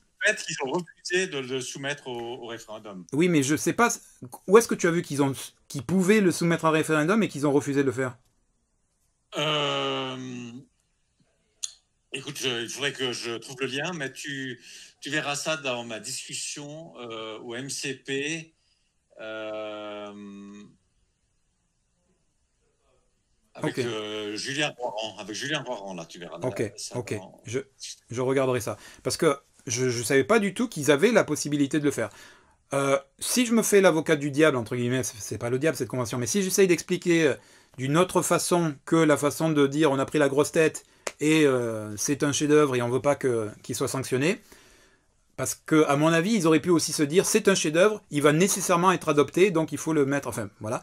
C'est que s'ils ont refusé, s'ils avaient la possibilité de le mettre à, référendum et qu'ils l'ont refusé, ce qui me paraît bizarre, mais pourquoi pas, peut-être à leur décharge que c'est parce qu'ils se sont dit mais il vaut mieux. Euh, euh, comment dire euh, faire confiance à la parole du président qui a dit je vais tout récupérer sans filtre, et donc tout ce qu'on a fait là va être adopté, plutôt que prendre le risque, entre guillemets, ou un processus plus long d'adoption par référendum. Enfin, tu vois, peut-être qu'ils se sont dit, mais de toute façon, il n'y a pas besoin du, référendum parce que ça va être de toute façon pris par euh, le président. Tu vois, et là, ils se sont fait euh, avoir. dernier point que je voulais dire sur, la critique que tu fais, c'est que c'est pas la pas la constituante dans le cadre de la de la réécriture de la Constitution. Hein. On sort de l'exemple sur le climat. C'est pas la constituante qui va pouvoir dire à la fin s'il y a référendum ou non. Le processus, c'est vous, vous vous occupez de la réécriture de la Constitution. Dans deux ans, deux ans, trois ans, un an, enfin a priori ça sera plutôt deux ans, euh, vous nous pondez un truc, et nous, nous, État, nous, président, nous, gouvernement, etc., on le soumet à référendum. Eux, ils, ne peuvent pas dire à la fin, ah ben au final, euh, finalement, si on pouvait pas faire de référendum, ça nous arrangerait. On s'en fout, tu vois. Oui, tout à fait. Donc, il y aura un référendum en bloc. Est-ce que vous préférez l'ancienne ou la nouvelle constitution? Mais ce que je dis, c'est que les constituants vont se dire après, même si le premier jour, ils étaient comme des citoyens ordinaires, pas seulement au niveau de leur compréhension, mais au niveau de leur... Euh, ils se sentaient à égalité, euh, proches. Euh, deux ans après, ils vont se dire, ben, oui, bien sûr, elle sera soumise en en votation en bloc, quoi, en référendum en bloc. On dira est-ce que vous laissez là ou, regardez l'ancienne? Mhm. Mais on va pas mettre dedans la possibilité, grâce au reconstituant, pour les citoyens d'initier des modifications de cette constitution. Ça, on va ah. pas faire parce qu'on a fait un chef-d'œuvre, c'est un truc super bien et on veut pas qu'ils nous la démolissent. Quoi. Ok, ok. Oh, je pense que ça serait vraiment compliqué. Je dis pas que c'est impossible, mais je pense que ça serait vraiment, dans l'état actuel des choses du, du pays, si justement, et en plus c'est un truc que j'ai oublié de dire, lors de cette constituante, dans, ce scénario-là, hein, je dis pas qu'il peut pas y avoir d'autres scénarios, et puis a, priori, les élections étant passées et le résultat euh, étant ce qu'il est, euh, cette histoire de, de Sixième République est a priori euh, pour plus tard, 2027, comme tu disais, ou peut-être il y a un mini espoir lors des législatives, on verra. Mais on laisse ça ci de côté. On se met dans l'hypothèse de, cette constituante en discutant avec la France Insoumise, donc eux, ils sont pour la participation de tous, parce que le, terme qu'ils emploient, c'est que c'est le peuple qui se refonde, tu vois. Donc, euh, si on parle bien du peuple qui se refonde, c'est pas juste une constituante, donc une, portion congrue du, peuple, ça doit être tout le peuple. D'où la participation de tous. Venez, euh, euh, une sorte de brainstorming national, etc. Tu vois, la participation et la motivation, et, et, voilà, un appétit pour la politique, etc. Et c'est là, et, évidemment, euh, ce qu'on disait tout à l'heure reste valable, c'est est-ce que ça sera juste du consultatif, à quel point ils vont l'intégrer ou pas? Je suis tout à fait d'accord euh, avec toi, on, se met dans le scénario euh, le plus défavorable, mais c'est là que des gens comme toi et moi, comme le MCP, etc., comme Étienne Chouard, enfin, comme tous les, les véritables démocrates, on a notre rôle à jouer en continuant le, travail formidable que vous faites d'éducation populaire euh, qu'est-ce que c'est que la constituant, qu'est-ce que c'est la constitution, qu'est-ce que c'est que le RIC constituant, etc., etc., qu'est-ce que c'est que la démocratie, ce, genre de choses, tu vois, et que on agrège, enfin, on, éveille les, consciences, euh, entre guillemets, hein, je, vais vite dans mes, dans mes propos, euh, d'un maximum de gens pour que, comme les gentils virus, c'est le principe d'Étienne de, d'Étienne Chouard, pour qu'il y ait un maximum de gens comme ça qui disent on veut le riz constituant, tu vois, et qu'il y ait une telle euh, des manifestations dans la rue s'il faut, parce que c'est ce que dit aussi la France Insoumise. Euh, une seconde. Attends. Hein. La France Insoumise, elle disait lors des, euh, de, des présidentielles, et, ça reste encore valable pour les, législatives, c'est pas on met un bulletin Jean-Luc Mélenchon, on a gagné, on rentre chez nous, c'est fini. Non, il faut être dans la rue pour pousser au cul parce que le programme qu'on veut mettre en place, il, est tellement antagoniste à ce qui se fait actuellement qu'il y aura les institutions, le grand patronat, etc. contre. Et si tout le monde rentre chez soi en disant euh, travail accompli, euh, c'est bon, j'ai fini, on n'arrivera pas à le mettre en place, tu vois. Donc de la même façon, tu vois, si on veut la réécriture de la Constitution par la Constituante, parce qu'il y aura un référendum, est-ce que vous voulez ou pas? Oui, on le veut. C'est pas oui, on le veut, maintenant on rentre chez nous et la Constituante fait le boulot et on revient dans deux ans pour, euh, euh, pour dire oui ou non, tu vois. C'est tout le long, on dit, mais alors nous, on veut ça, on veut ça, on veut ça, on veut ça, et on n'arrête pas de le dire. Et, et, et, si à la fin, avec tous les manifs, tous les événements, euh, les vidéos, les, les, on peut faire des congrès, on peut faire tout un tas de trucs, ils l'ont pas pris en compte, c'est ce qui est possible, mais à mon avis, ce sera quand même difficile, mon point de vue. Euh, comme je disais, bon, deux points. Premièrement, le, si tu as un million de gens dans la rue, c'est un million, peut-être qu'il y a 40 millions qui sont contre. Donc, c'est pas parce qu'il y a un million dans la rue que tu dois prendre en compte. Mais 73%, tu disais. Ouais, ça, c'est les sondages. Donc, peut-être on peut prendre les sondages, mais il y a mieux qu'un sondage. Oui. C'est un référendum. Je sais. Parce qu'un sondage, un sondage, il n'y a pas le débat avant. Euh, c'est pas fait dans les règles de l'art, etc. Là, tu as tout le peuple, c'est pas juste ça. Donc, euh, on, on, pourrait faire des manifs, etc. Mais avec euh, l'idée que, de toute façon, même si on a un million dans la rue, on peut toujours dire, euh, oui, et puis les sondages, de toute façon, on ne les croit pas forcément. Et puis vous êtes, il y en a peut-être 40 millions. C'est tellement plus simple de faire un référendum. Et si, alors peut-être la France insoumise n'a simplement pas pensé à, certaines choses qu'on a discuté aujourd'hui. Oui, oui, je pense. Et puis qu'en 2027, ils reviseront leur euh, système. Mais s'ils restent avec le même système en 2027, c'est-à-dire qu'ils disent non, non, mais nous, on ne veut pas poser la question est-ce que vous voulez la constituante avec ou sans le reconstituant, tu sais, avec les deux. Et puis, euh, euh, s'ils font, ils font pas ça, mais c'est qu'ils ne le veulent pas. Et s'ils ne le veulent pas, tu peux avoir un million de gens dans la rue, ils ne le voudront toujours pas. Donc, euh, ça me paraît vraiment important de Alors, sur le référendum. Je suis d'accord avec toi. Imaginons le, le, scénario où la France insoumise est démophobe. Et je fais une petite parenthèse je suis d'accord avec toi, dans la France insoumise, je ne les côtoie pas, je ne les connais pas, hein, je, suis au Japon, donc je suis loin, etc. Mais je, pense qu'il y a parmi la France insoumise des démophobes. Des démophobes pas nécessairement véritablement démophobes, c'est-à-dire le peuple est vraiment con et c'est pas à lui de décider, c'est à nous, mais peut-être plutôt, et c'est pas forcément... Euh, c'est pas une bonne excuse, c'est pas, pas valable, tu vois, j'essaye de comprendre, mais c'est pas valable. Plutôt, euh, le peuple, malheureusement, est manipulable. En fait, pas seulement le peuple, tout un chacun, nous sommes manipulables, qui que, qui que nous soyons, tu vois. Et donc, comme la télévision, en particulier la télévision, mais on pourrait dire les médias en général, sont orientés, ils ils orientent les gens euh, contre leurs propres intérêts, si tu veux, tu vois. Donc, il y a des, sortes de démophobes, et, du coup, le terme n'est pas approprié, mais voilà, des, gens qui se méfient au sein de la France insoumise, des gens qui se méfient de la manipulation dont les Français en général euh, peuvent être euh, et, sont en réalité euh, victimes. C'est dans ce sens-là. Et ça ne les excuse pas. Oui, ça les excuse d'autant moins que à ce régime-là, on peut dire on abolit les élections, parce qu'ils se font aussi manipuler pour les, pendant les élections. on oublie 2005. Tous les enfin une grande partie des médias, une large majorité des médias étaient contre ce que le peuple a finalement voté.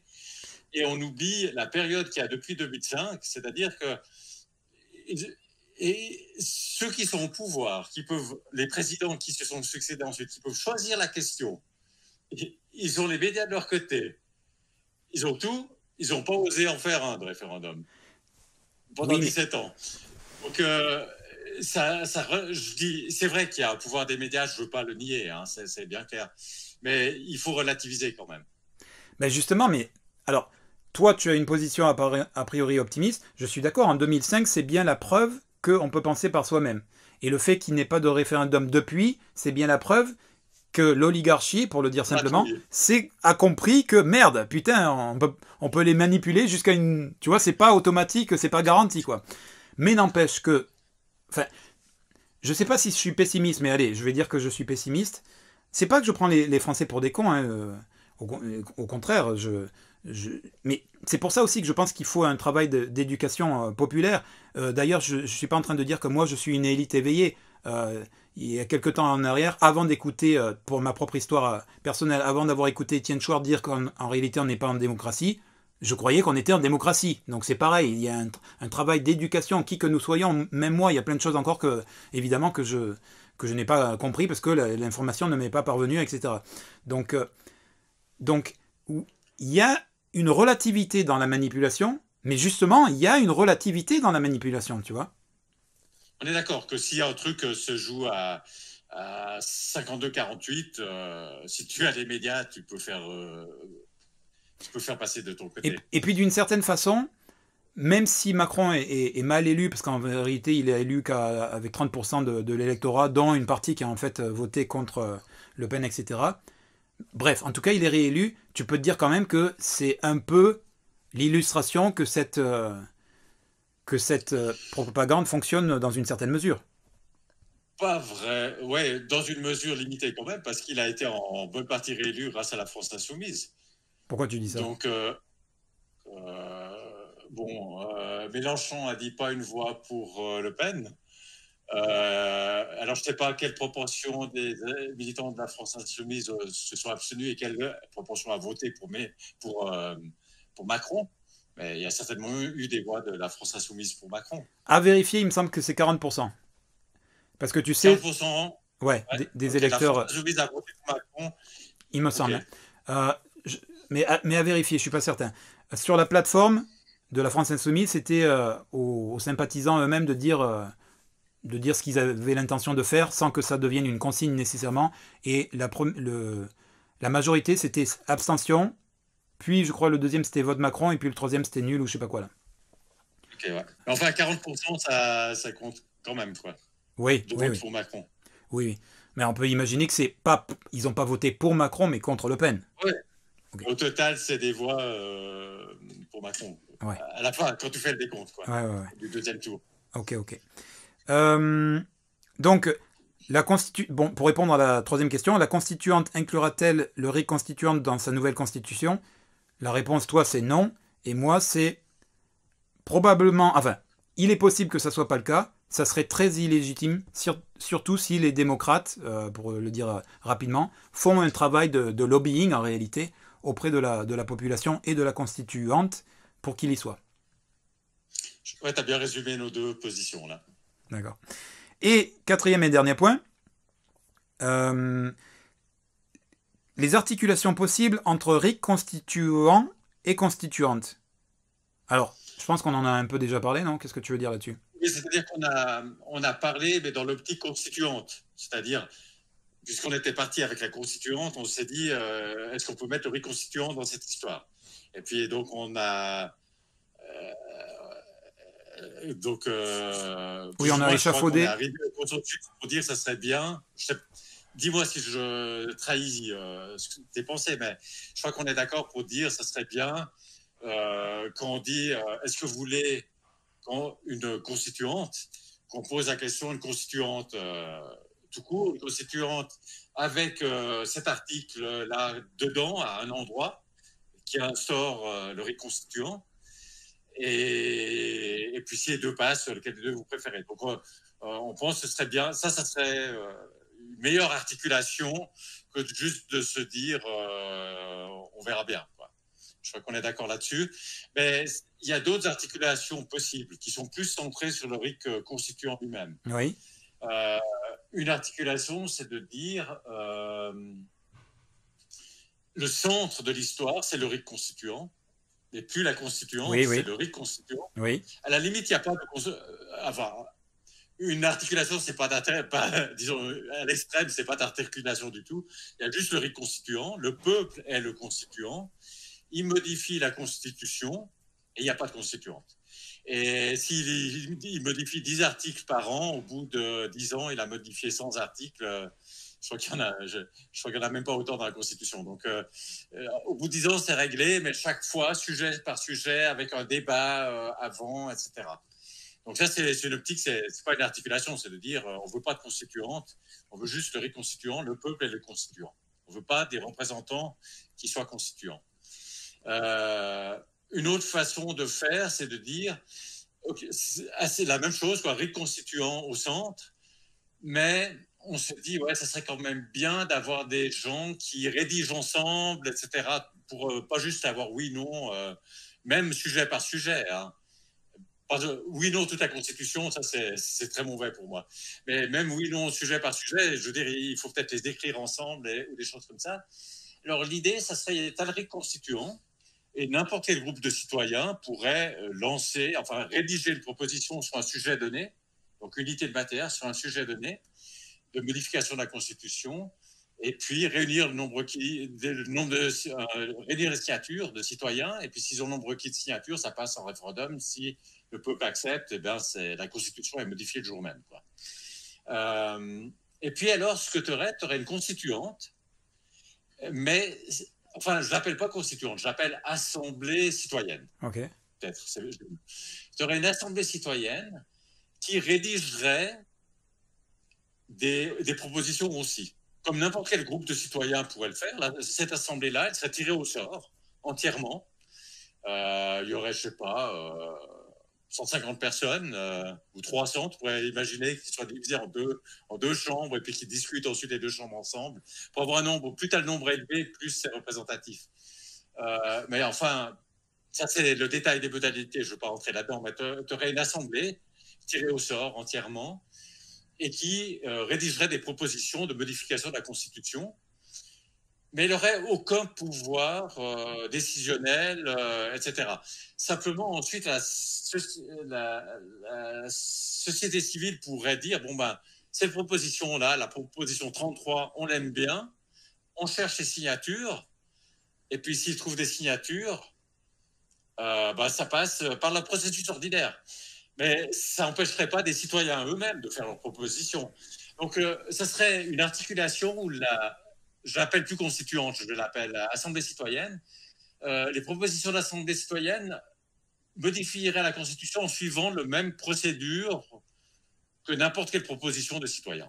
En fait, ce que tu dis, c'est que instauration du RIC constituant, et donc utilisation de celui-ci par tout un chacun, puisque c'est la nature référendum d'initiative citoyenne, c'est ça que ça veut dire, mais en parallèle à ça, une assemblée de citoyens qui aurait pour fonction de, de travailler constamment à la proposition de, de modification euh, euh, sujet par sujet et de, de, produire comme ça voilà, des, des propositions de, de, modification dont les Français pourraient se, euh, se saisir afin de d'eux-mêmes réunir les signatures nécessaires au, fait du déclenchement du, RIC.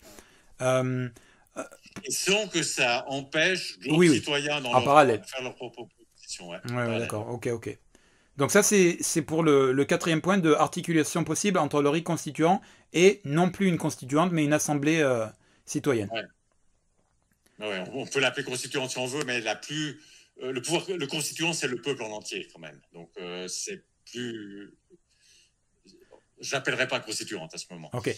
Alors c'est une proposition très intéressante. À mon avis, effectivement, le, le, le plus important, c'est dans les la, méthode, tu vois, c'est quel est le nombre, euh, est-ce que c'est quelle, est la durée du mandat? Parce qu'à mon avis, il faut qu'il y ait un, renouvellement fréquent, parce que sinon, il y a à la fois le risque que tu disais tout à l'heure, c'est-à-dire que le, pouvoir euh, euh, grise les gens, tu vois, il pourrait y avoir une, distance qui, qui, se crée, puis il pourrait y avoir un travail de lobbying auprès de cette, de cette assemblée, puisqu'on sait que c'est toujours les mêmes, euh, copinage, je viens au restaurant, je te paye des voyages, etc., machin truc, et, et si tu proposais ça dans, dans, ton, dans l'assemblée ah voilà, tu vois. Donc je pense qu'il y a une nécessité de, renouvellement fréquent, parce que c'est, ça ne garantit pas le, euh, l'absence de, lobby et de, corruption, mais ça le rend plus difficile, parce qu'à chaque fois, il faut corrompre de nouvelles personnes, etc. Et puis s'il y a un, un gros turnover, pour parler un mauvais français, et qu'il y a de la corruption dans ce, dans ce turnover, à un moment donné, il y aura quelqu'un de sincère qui dira oh, Au fait, j'ai été approché par, euh, par tel et tel lobby et ça va fuir dans les, dans les médias et, tout le bordel, tu vois. Après, justement, je pense que ce qui est intéressant, y compris dans la constituante de, de, la, de la hum, France Insoumise ou dans la proposition que tu fais d'assemblée citoyenne, dans tous les cas de figure, et, je te soumets l'idée, j'aimerais bien avoir ton avis, il faut que ça soit transparent. Qu'est-ce que ça veut dire? Ça veut dire qu'il faut que ça soit filmé en direct et euh, rediffusé. On, va pas, on peut regarder comme Public Sénat euh, le, travail en direct, mais on doit pouvoir voir aussi euh, en différé, tu sais, à, n'importe quel moment, toutes les sessions. Pour voir, c'est un double, une double fonction de, mon point de vue. Normalement, ça doit être une garantie supplémentaire de rendre plus difficile, pas d'empêcher, mais de rendre plus, plus difficile la, corruption. Et ça fait un travail d'éducation populaire très intéressant parce que les gens peuvent voir ah c'est comme ça qu'on qu'on délibère, qu'on débat, que les, que les avis évoluent, et puis eux-mêmes, ils sont nourris de cette, euh, des informations euh, que, que engrange cette euh, assemblée citoyenne, tu vois. Je crois que c'est, je crois que c'est très intéressant, quoi. C'est, c'est bien comme truc. Je crois qu'il y a quand même, il y a un truc qui est très important à ce moment, c'est que les gens aient le droit de dire des conneries. Oui. Tu vois, je veux dire, faut que tu puisses te tromper puis revenir sur, sur ce que tu as dit avant. Tu puisses évoluer sans qu'on te dise, oui, ben, à la dixième minute, vous avez dit ça, et puis maintenant, vous êtes en contradiction avec ce que vous avez dit avant. Euh, euh, voilà, c'est un peu le.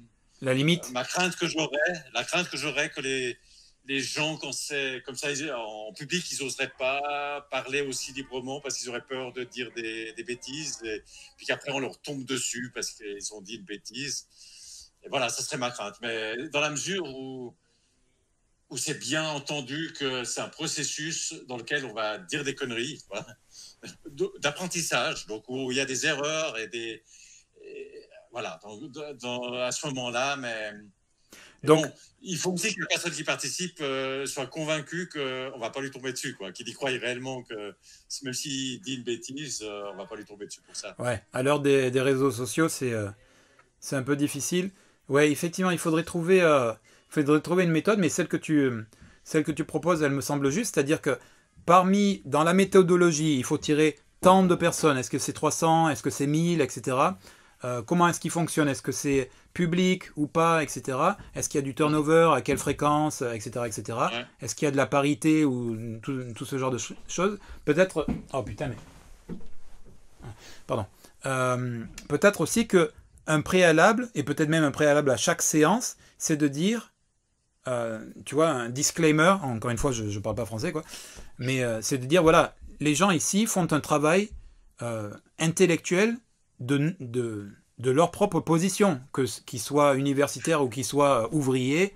Euh, on euh, voilà, chacun part de son point de vue et, et c'est ce qui fait aussi la représentation, tu vois. Donc, euh, il ne doit pas y avoir de jugement. Et s'il y a évolution des uns et des autres, ça veut dire qu'il y a travail. Parce que si on arrive avec ces idées et qu'au bout du travail on est toujours pareil, il n'y a pas ça veut dire que la, société est figée, quoi, tu vois. Donc il faudrait peut-être rappeler, et peut-être même systématiquement, de dire, euh, euh, voilà, c'est normal qu'on évolue, c'est normal qu'on se trompe, et, l'apprentissage, tout ça, c'est, faire des erreurs, quoi. Ouais, donc ça, ça serait, bon point. Possibilité. Ce qu'il faut, ajouter quand même, c'est que le, cette assemblée, elle aurait, enfin si on ne parle pas de la constituante, mais de l'assemblée, la constituante, elle a, disons, à la France qui fait une constitution qui est soumise ensuite. Euh, un référendum. Elle a quand même un bon pouvoir. Hein. Tandis que. Euh, oui. Bon, même, même si elle est réconstituant, enfin, il faudrait qu'il y ait S'il n'y a pas de réconstituant, c'est énorme comme pouvoir. Passer la nouvelle constitution, euh, si le peuple trouve qu'elle est meilleure que l'ancienne. Si elle est réconstituant, c'est un pouvoir moins grand, mais qui reste grand parce que on peut modifier chaque point grâce au réconstituant, mais, mais enfin, il faut, faut réunir les signatures, etc. Quoi. Donc ça donne quand même le, le truc. Tandis que l'Assemblée euh, dont je parlais, elle a quand même beaucoup moins de pouvoir parce que il faut qu'il y ait la société civile, des gens qui reprennent, et puis ensuite il faut que ce soit approuvé par le peuple. Si c'est Donc, même si as, un lobby a vraiment réussi à, faire. Euh, euh, oui, oui. Après, ça, dépend. Le, le, lobby, lui, de toute façon, il va avoir un intérêt dès le départ en disant, puisque c'est une, une instance de proposition, autant l'investir. Tu sais, les lobbies, Ils, ils, ont, ils ont des moyens, donc ils, vont de partout. Quoi. Ça dépend de quel lobby on parle. Mais, euh, et après, les lobbies ils seront plus intéressés s'ils voient que la plupart de ce qui est proposé est adopté par la suite. Là, ils vont se dire, ben, effectivement, là, il y a un intérêt. Euh, mais effectivement. Et ce qui risque bien de se produire, parce qu'elle est représentative et si elle ne se laisse pas trop influencer par les lobbies, probablement que la large majorité de ce qu'elle propose va être acceptée. Oui, oui. Euh, mais en réalité, cette euh, assemblée citoyenne, elle n'a pas de pouvoir. Le seul pouvoir, entre guillemets, qu'elle a, c'est un pouvoir de proposition. Tu vois? Exactement. Voilà, ok. dernier point que, auquel je viens de penser, c'est que j'entends ton argument de dire que euh, là, on revient dans le scénario de la, de la constituante de la France insoumise. Euh, l'une de tes craintes fondées, de, mon point de vue, c'est de dire oui, mais si la nouvelle constitution n'inclut pas le RIC constituant, mais qu'elle est meilleure, les Français vont dire bon, ben c'est déjà ça. Mais j'entends tout à fait, et je pense que c'est effectivement un risque euh, réel. Mais de mon point de vue, et je viens d'y penser que maintenant, c'est que je suis du côté des Français qui diront mais c'est quand même déjà ça, tu vois. C'est-à-dire que à être, je sais pas s'il faut dire puriste, mais c'est pas dans un sens péjoratif ou euh, négatif que je dis ça, tu vois. Mais de dire c'est reconstituant ou rien, j'entends et je, comprends la nécessité d'être intransigeant là-dessus, mais malgré tout, si ça doit faire boycotter, enfin pas boycotter, euh, ben, enfin moi j'entends pas l'argument de dire on ne soutiendra pas euh, une, force politique qui propose une constituante dans laquelle il n'y a pas de, de reconstituant. Je suis, j'entends plus euh, une, euh, une organisation sociale qui dit on va parler à tous les, toutes les forces politiques, et en particulier à la force politique qui est le plus proche, même si c'est quand même très éloigné de notre idée à nous, et on va faire un lobby incessant, même si on n'arrive pas à obtenir ce qu'on veut tout de suite, pour, pour que éventuellement euh, ça, finisse par entrer. Euh, je te dis ça parce que, évidemment, il faut qu'il y c'est la première question qu'on me disait euh, tout au début de la conversation, une constituante, une, putain, je vais arriver, une constitution doit-elle inclure le, RIC constituant pour être démocratique? La réponse est oui. Sans RIC constituant, ce n'est pas une démocratie. Ça, c'est clair et net. Malgré tout, si ce n'est pas une démocratie, mais que la Constitution fait que les pouvoirs sont moins concentrés, et qu'il y a peut-être la possibilité de révoquer les élus, etc., on n'est toujours pas en démocratie, mais c'est une oligarchie de meilleure qualité, entre guillemets, tu vois. Donc, évidemment que euh, il faut viser les étoiles pour atteindre la Lune, et donc nous, ce qu'on veut, c'est le reconstituant, mais euh, ma position, qui est différente de la tienne, je respecte la tienne, c'est de dire, si quand même on atteint la Lune, c'est-à-dire de changer la Constitution pour qu'elle soit meilleure, même si elle ne fait pas de la France une démocratie, c'est quand même un pas en avant. Oui, ce qu'il y a, c'est que on change pas de république euh, tous les jours. Et c'est pas par hasard qu'on parle de sixième république maintenant, enfin, que qu'il y, aurait eu peut-être une possibilité. Euh, Mélenchon a raté de pas grand-chose le, euh, deuxième tour. Euh, c'est pas par hasard qu'on en parle maintenant, c'est qu'il y a vraiment eu une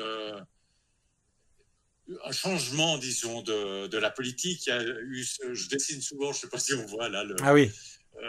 Euh, le centre et puis la gauche et la droite. Et puis le, centre gauche et centre droit sont devenus un pôle élitaire. Et puis dessous, mais ils ne sont pas assemblés, hein, ils sont comme ça. Euh, il y a ceux qui pourraient euh, être du côté du peuple. Et, c'est pas tous les jours qu'il y a un basculement comme ça d'axe politique. Donc, c'est vraiment le moment et, à mon avis, il ne faut pas attendre la 7 République pour qu'elle soit démocratique. Donc, euh, il faut l'obtenir maintenant. En plus, si tu prends la France insoumise, je crois que la large majorité des, militants de la France insoumise sont pour le, le RIC constituant. Donc, s'il y a un problème, je crois qu'il y a un problème au niveau de, euh, de ceux qui dirigent en haut, mais il faudrait que justement les, les, faire changer eux maintenant. Et, et je pense que si en, si en 2027, ils, ils, pensent que de mettre le RIC constituant, ça, augmenterait énormément les chances qu'ils soient élus, euh, peut-être qu'ils le feront. Alors, je ne sais pas, moi, s'il y a une, différence telle entre la base, les militants, qui veulent le RIC constituant, et la, tête qui dit non. Je pense que c'est un peu plus nuancé que ça. Je pense que la tête peut-être ne sait pas suffisamment poser la question ou peut-être peut-être qu'elle peut évoluer. Enfin, bref. mais à mon avis, je comprends que toi tu veux faire un saut quantique. C'est le moment. On voit bien qu'on est à, bout de souffle euh, à la fois pour les institutions françaises, mais aussi pour un modèle, euh, un modèle euh, économique, politique, etc., qui est le capitalisme. Tout le monde dit qu'on est à la fin d'un cycle, etc. Donc il y a bien une appétence pour un changement véritable, pas juste un petit pas, vraiment un, changement radical. Et je suis, je, souhaite qu'on fasse ce saut quantique ou ce changement radical, qu'on dépasse l'oligarchie pour une véritable démocratie, qu'on dépasse le capitalisme, même si c'est un autre sujet, enfin à mon avis il est lié, mais bon. Bref, pour euh, autre chose, euh, malgré tout, je veux ça.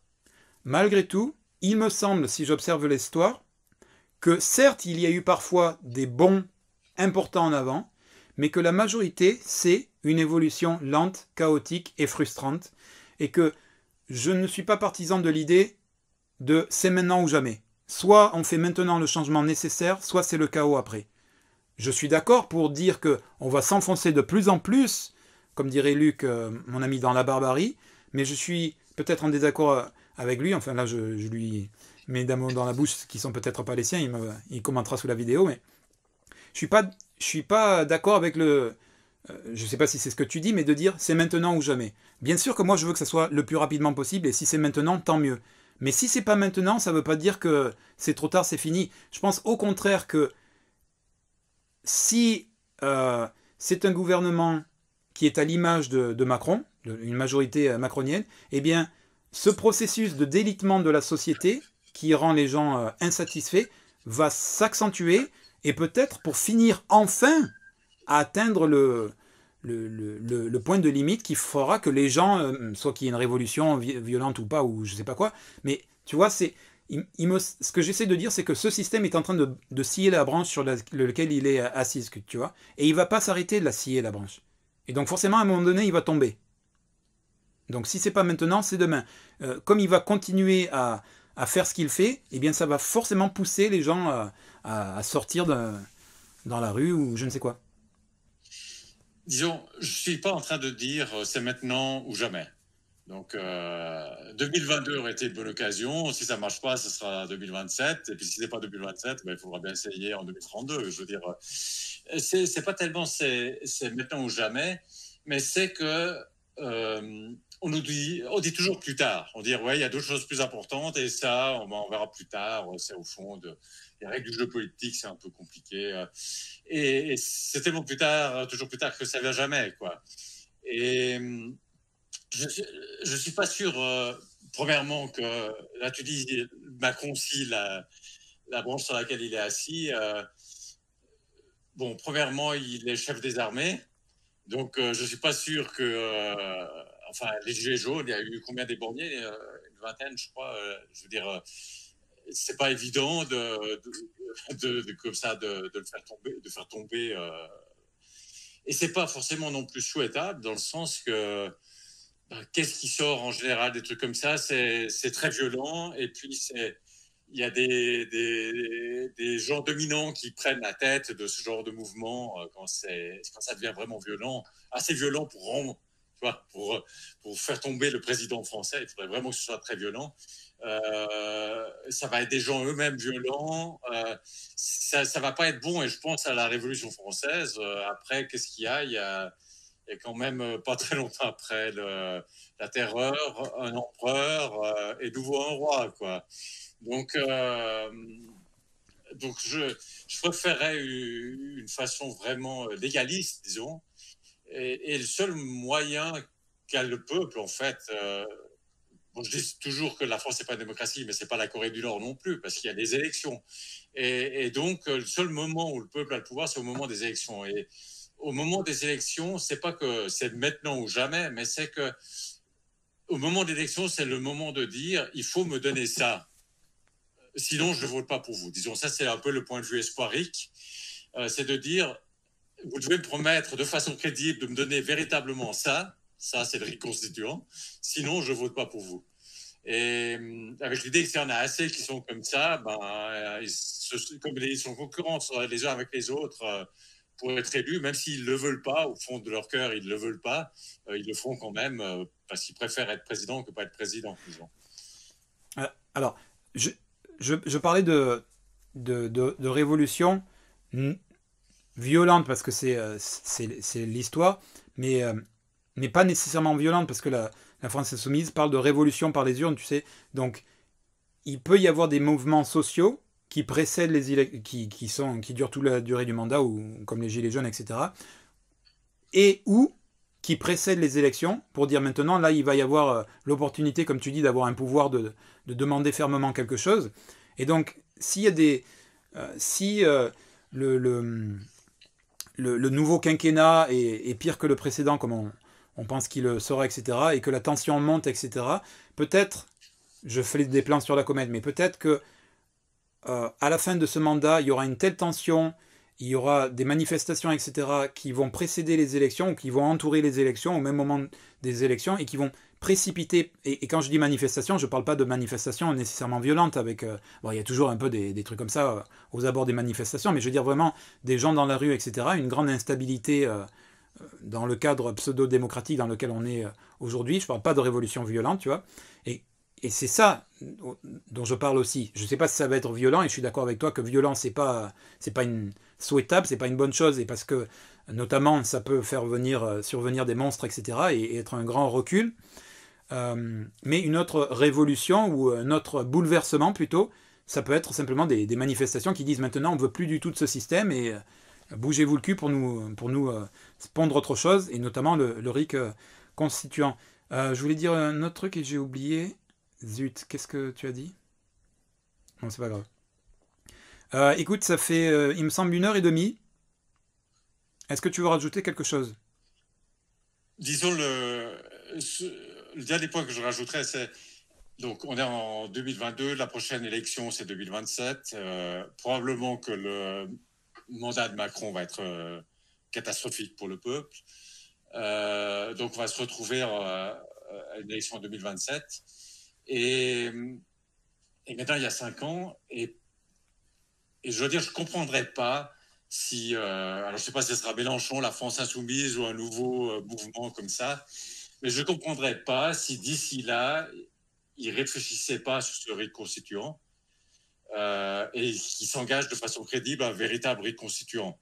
Euh, je n'ai pas entendu d'argument contre, j'entends plutôt dire euh, on est pour, on l'a proposé déjà du côté de la France insoumise, mais ce n'était pas dans l'article 89, ce qui fait que le Conseil constitutionnel peut toujours s'y opposer. Euh, et puis après, euh, à la présidentielle, c'était non parce qu'il y a, on veut pas, on veut laisser une page blanche à la constituante. Euh, chaque fois, il y a une raison, mais je crois que ces raisons, elles, sont mauvaises. Et puis, bah, s'il y a des gens de la, France insoumise qui regardent ça, bah, ils peuvent soit répondre s'ils trouvent que qu'on a tort ou que j'ai tort, soit, euh, bah, soit euh, tenir compte de ce qu'on a discuté.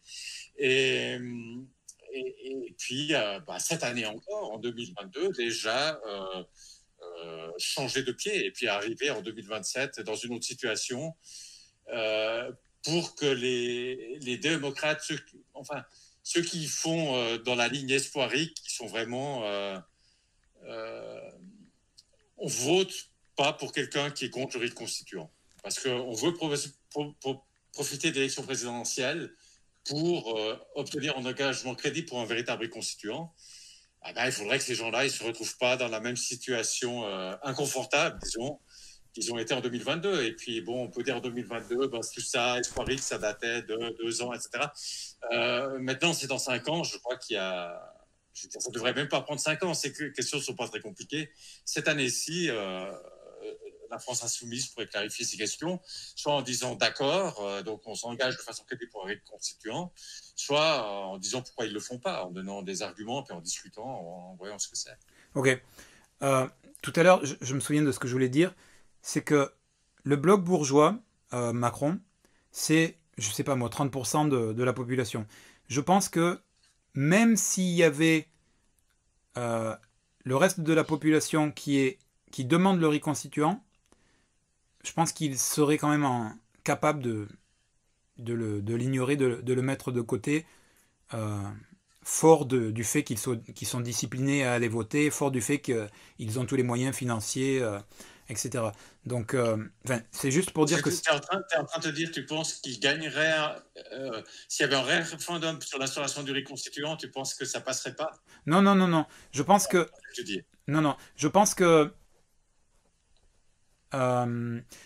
Je, je, pense que 2027, ce bloc-là, je vais le. Il risque de gagner la présidentielle. Je, ne sais pas, je sais pas. J'espère que non quand même, parce que j'espère qu'ils vont encore faire la démonstration que qu'ils font de la merde. Mais je veux dire, si jamais ils, enfin, en tout cas, ce que je veux dire, c'est qu'en 2027, ces gens-là, on n'arrivera jamais à leur faire changer d'avis sur le RIC constituant. Tu sais que il a tout de suite mis le RIC même pas constituant euh, Macron de, côté au moment des gilets jaunes, tu vois. Donc euh, eux, ils savent très bien ce que c'est. Ils savent très bien que c'est l'instauration d'une démocratie et ils savent très bien qu'ils sont opposés, ce sont des antidémocrates. Donc ça, ce bloc bourgeois de 30% de la population, il est... Euh, je dis pas qu'on ne peut pas en essayer d'en grappiller quelques-uns, mais euh, voilà, en tout cas, eux, ce sont nos, ennemis euh, politiques, hein, je, mets, des guillemets. simplement ça.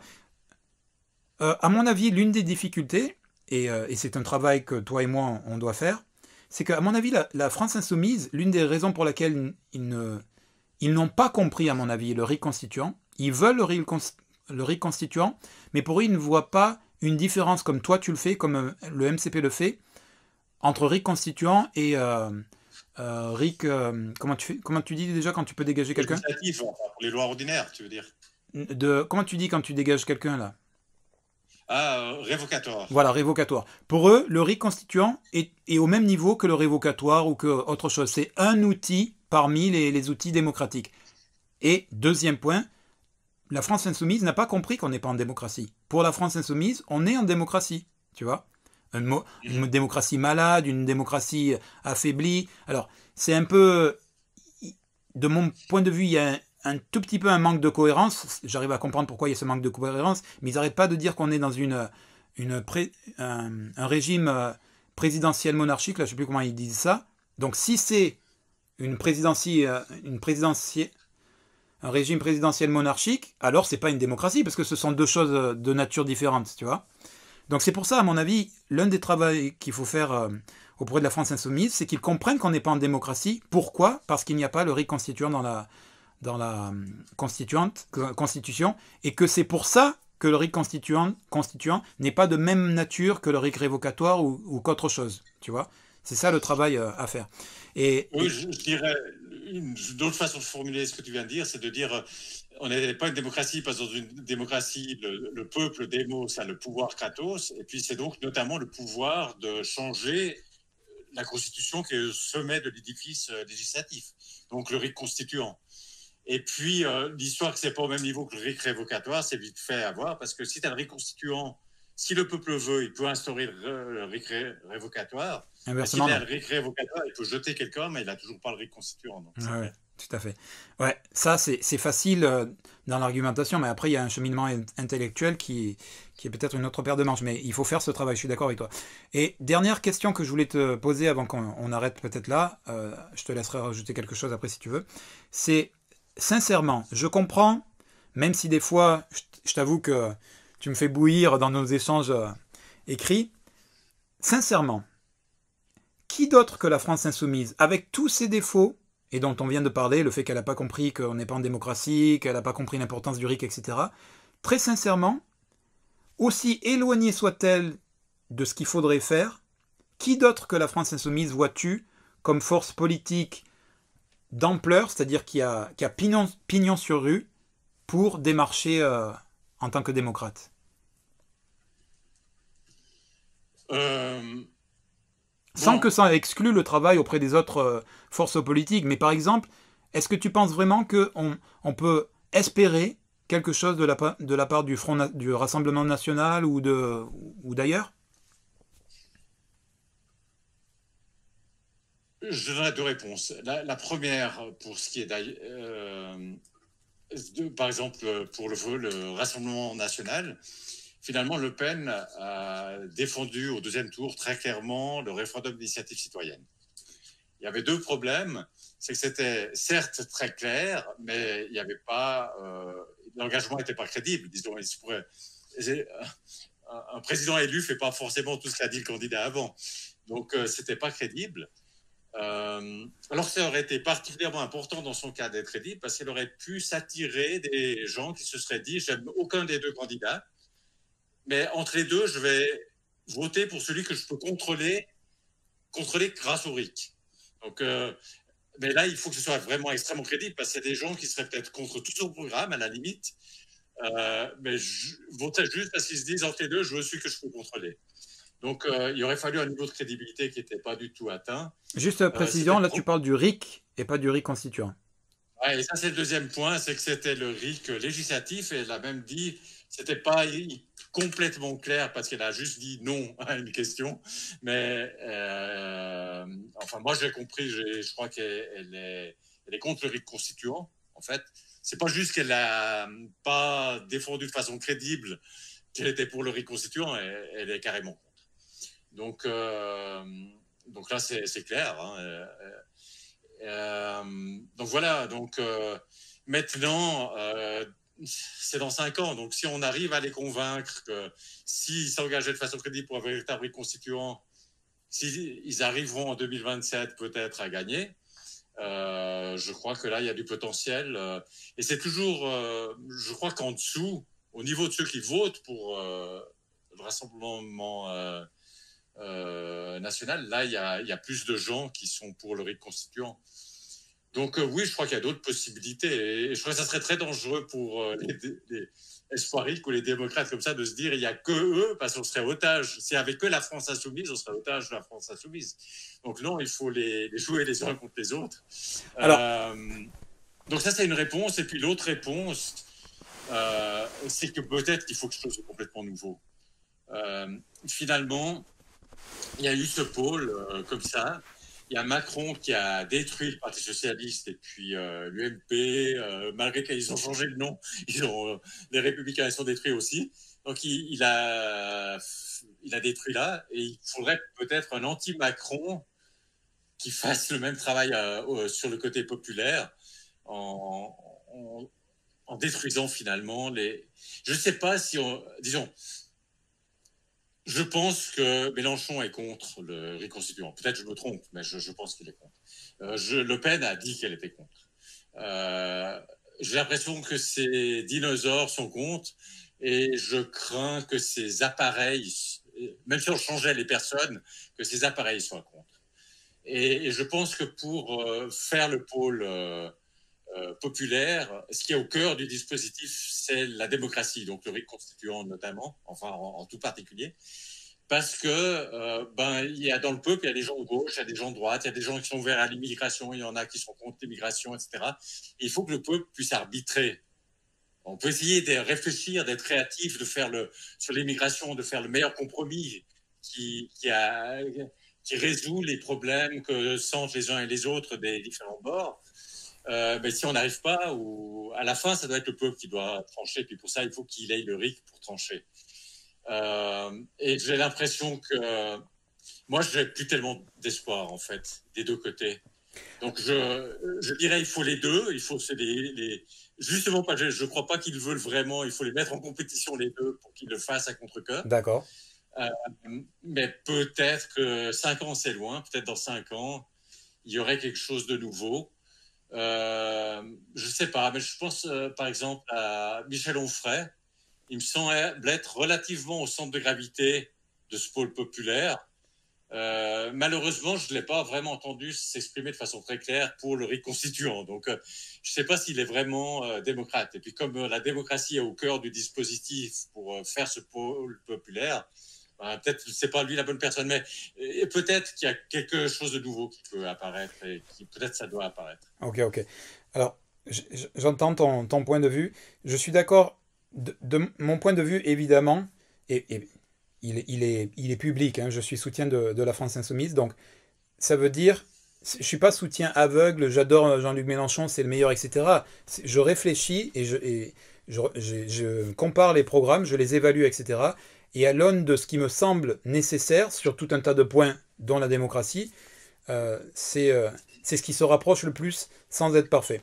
Pour autant, je suis complètement d'accord avec euh, ce que tu dis, de les mettre en concurrence. Même si je pense que la France insoumise est la force politique d'ampleur la plus susceptible d'entendre l'argument du, du reconstituant, il ne faut surtout pas s'interdire, bien au contraire, au contraire même, il faut aller voir les autres forces politiques, ne serait-ce que en ayant euh, comme stratégie euh, euh, derrière de dire la France insoumise, vous êtes les plus avancés. Si demain le Rassemblement national, ou je sais pas quoi, une autre force politique, Macron, bon, Macron serait que ça serait de la connerie, mais telle force politique propose le, le, reconstituant et que vous, vous ne proposez pas, c'est quoi ce bordel, quoi, tu vois? Donc, donc il faut aller faire du lobby où que ce soit, sans, sans, étiquette, etc., en, demandant le, le RIC constituant. Euh, je suis d'accord avec toi et j'oublie encore euh, ce que je voulais dire. Ah oui, alors on ferait. Non, moi je pense que c'est euh, c'est pas un démocrate. Je j'ai un peu de mal avec. J'ai toujours eu du mal avec lui, même avant qu'il devienne un peu polémique, etc. parce que des, des, fois il est il est trop.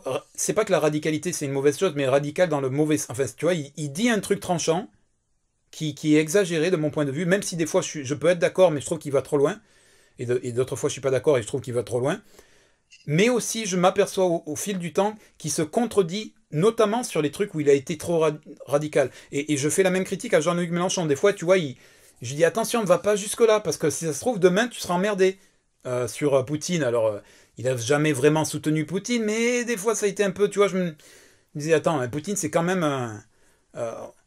Je suis d'accord qu'il faut arrêter de, avec cette histoire de bloc de bloc euh, tu vois, de l'Est et de l'Ouest, etc., on est non alignés, mais Poutine, ça reste malgré tout, euh, je dis, je sais très bien qu'il n'a pas été soutien, hein, mais des fois ça a été un peu euh, compliqué, il aurait fallu s'arrêter un peu plus tôt, etc.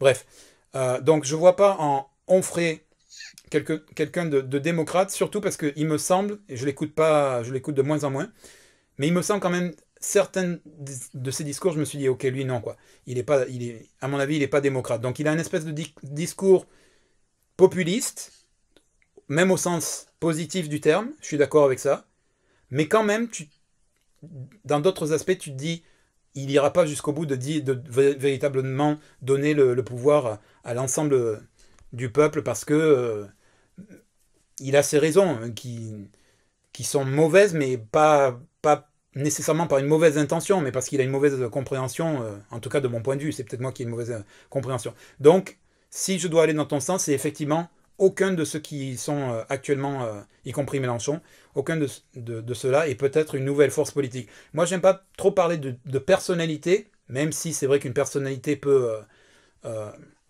comment dire, agréger des gens, tu vois. Je préférais que ce soit quelque chose de plus large, peut-être un collectif, parce qu'il faut quand même que ce soit un, truc un peu plus restreint, mais pas une personnalité, ça me, ça me, ça m'inquiète toujours, quoi, ce genre de truc.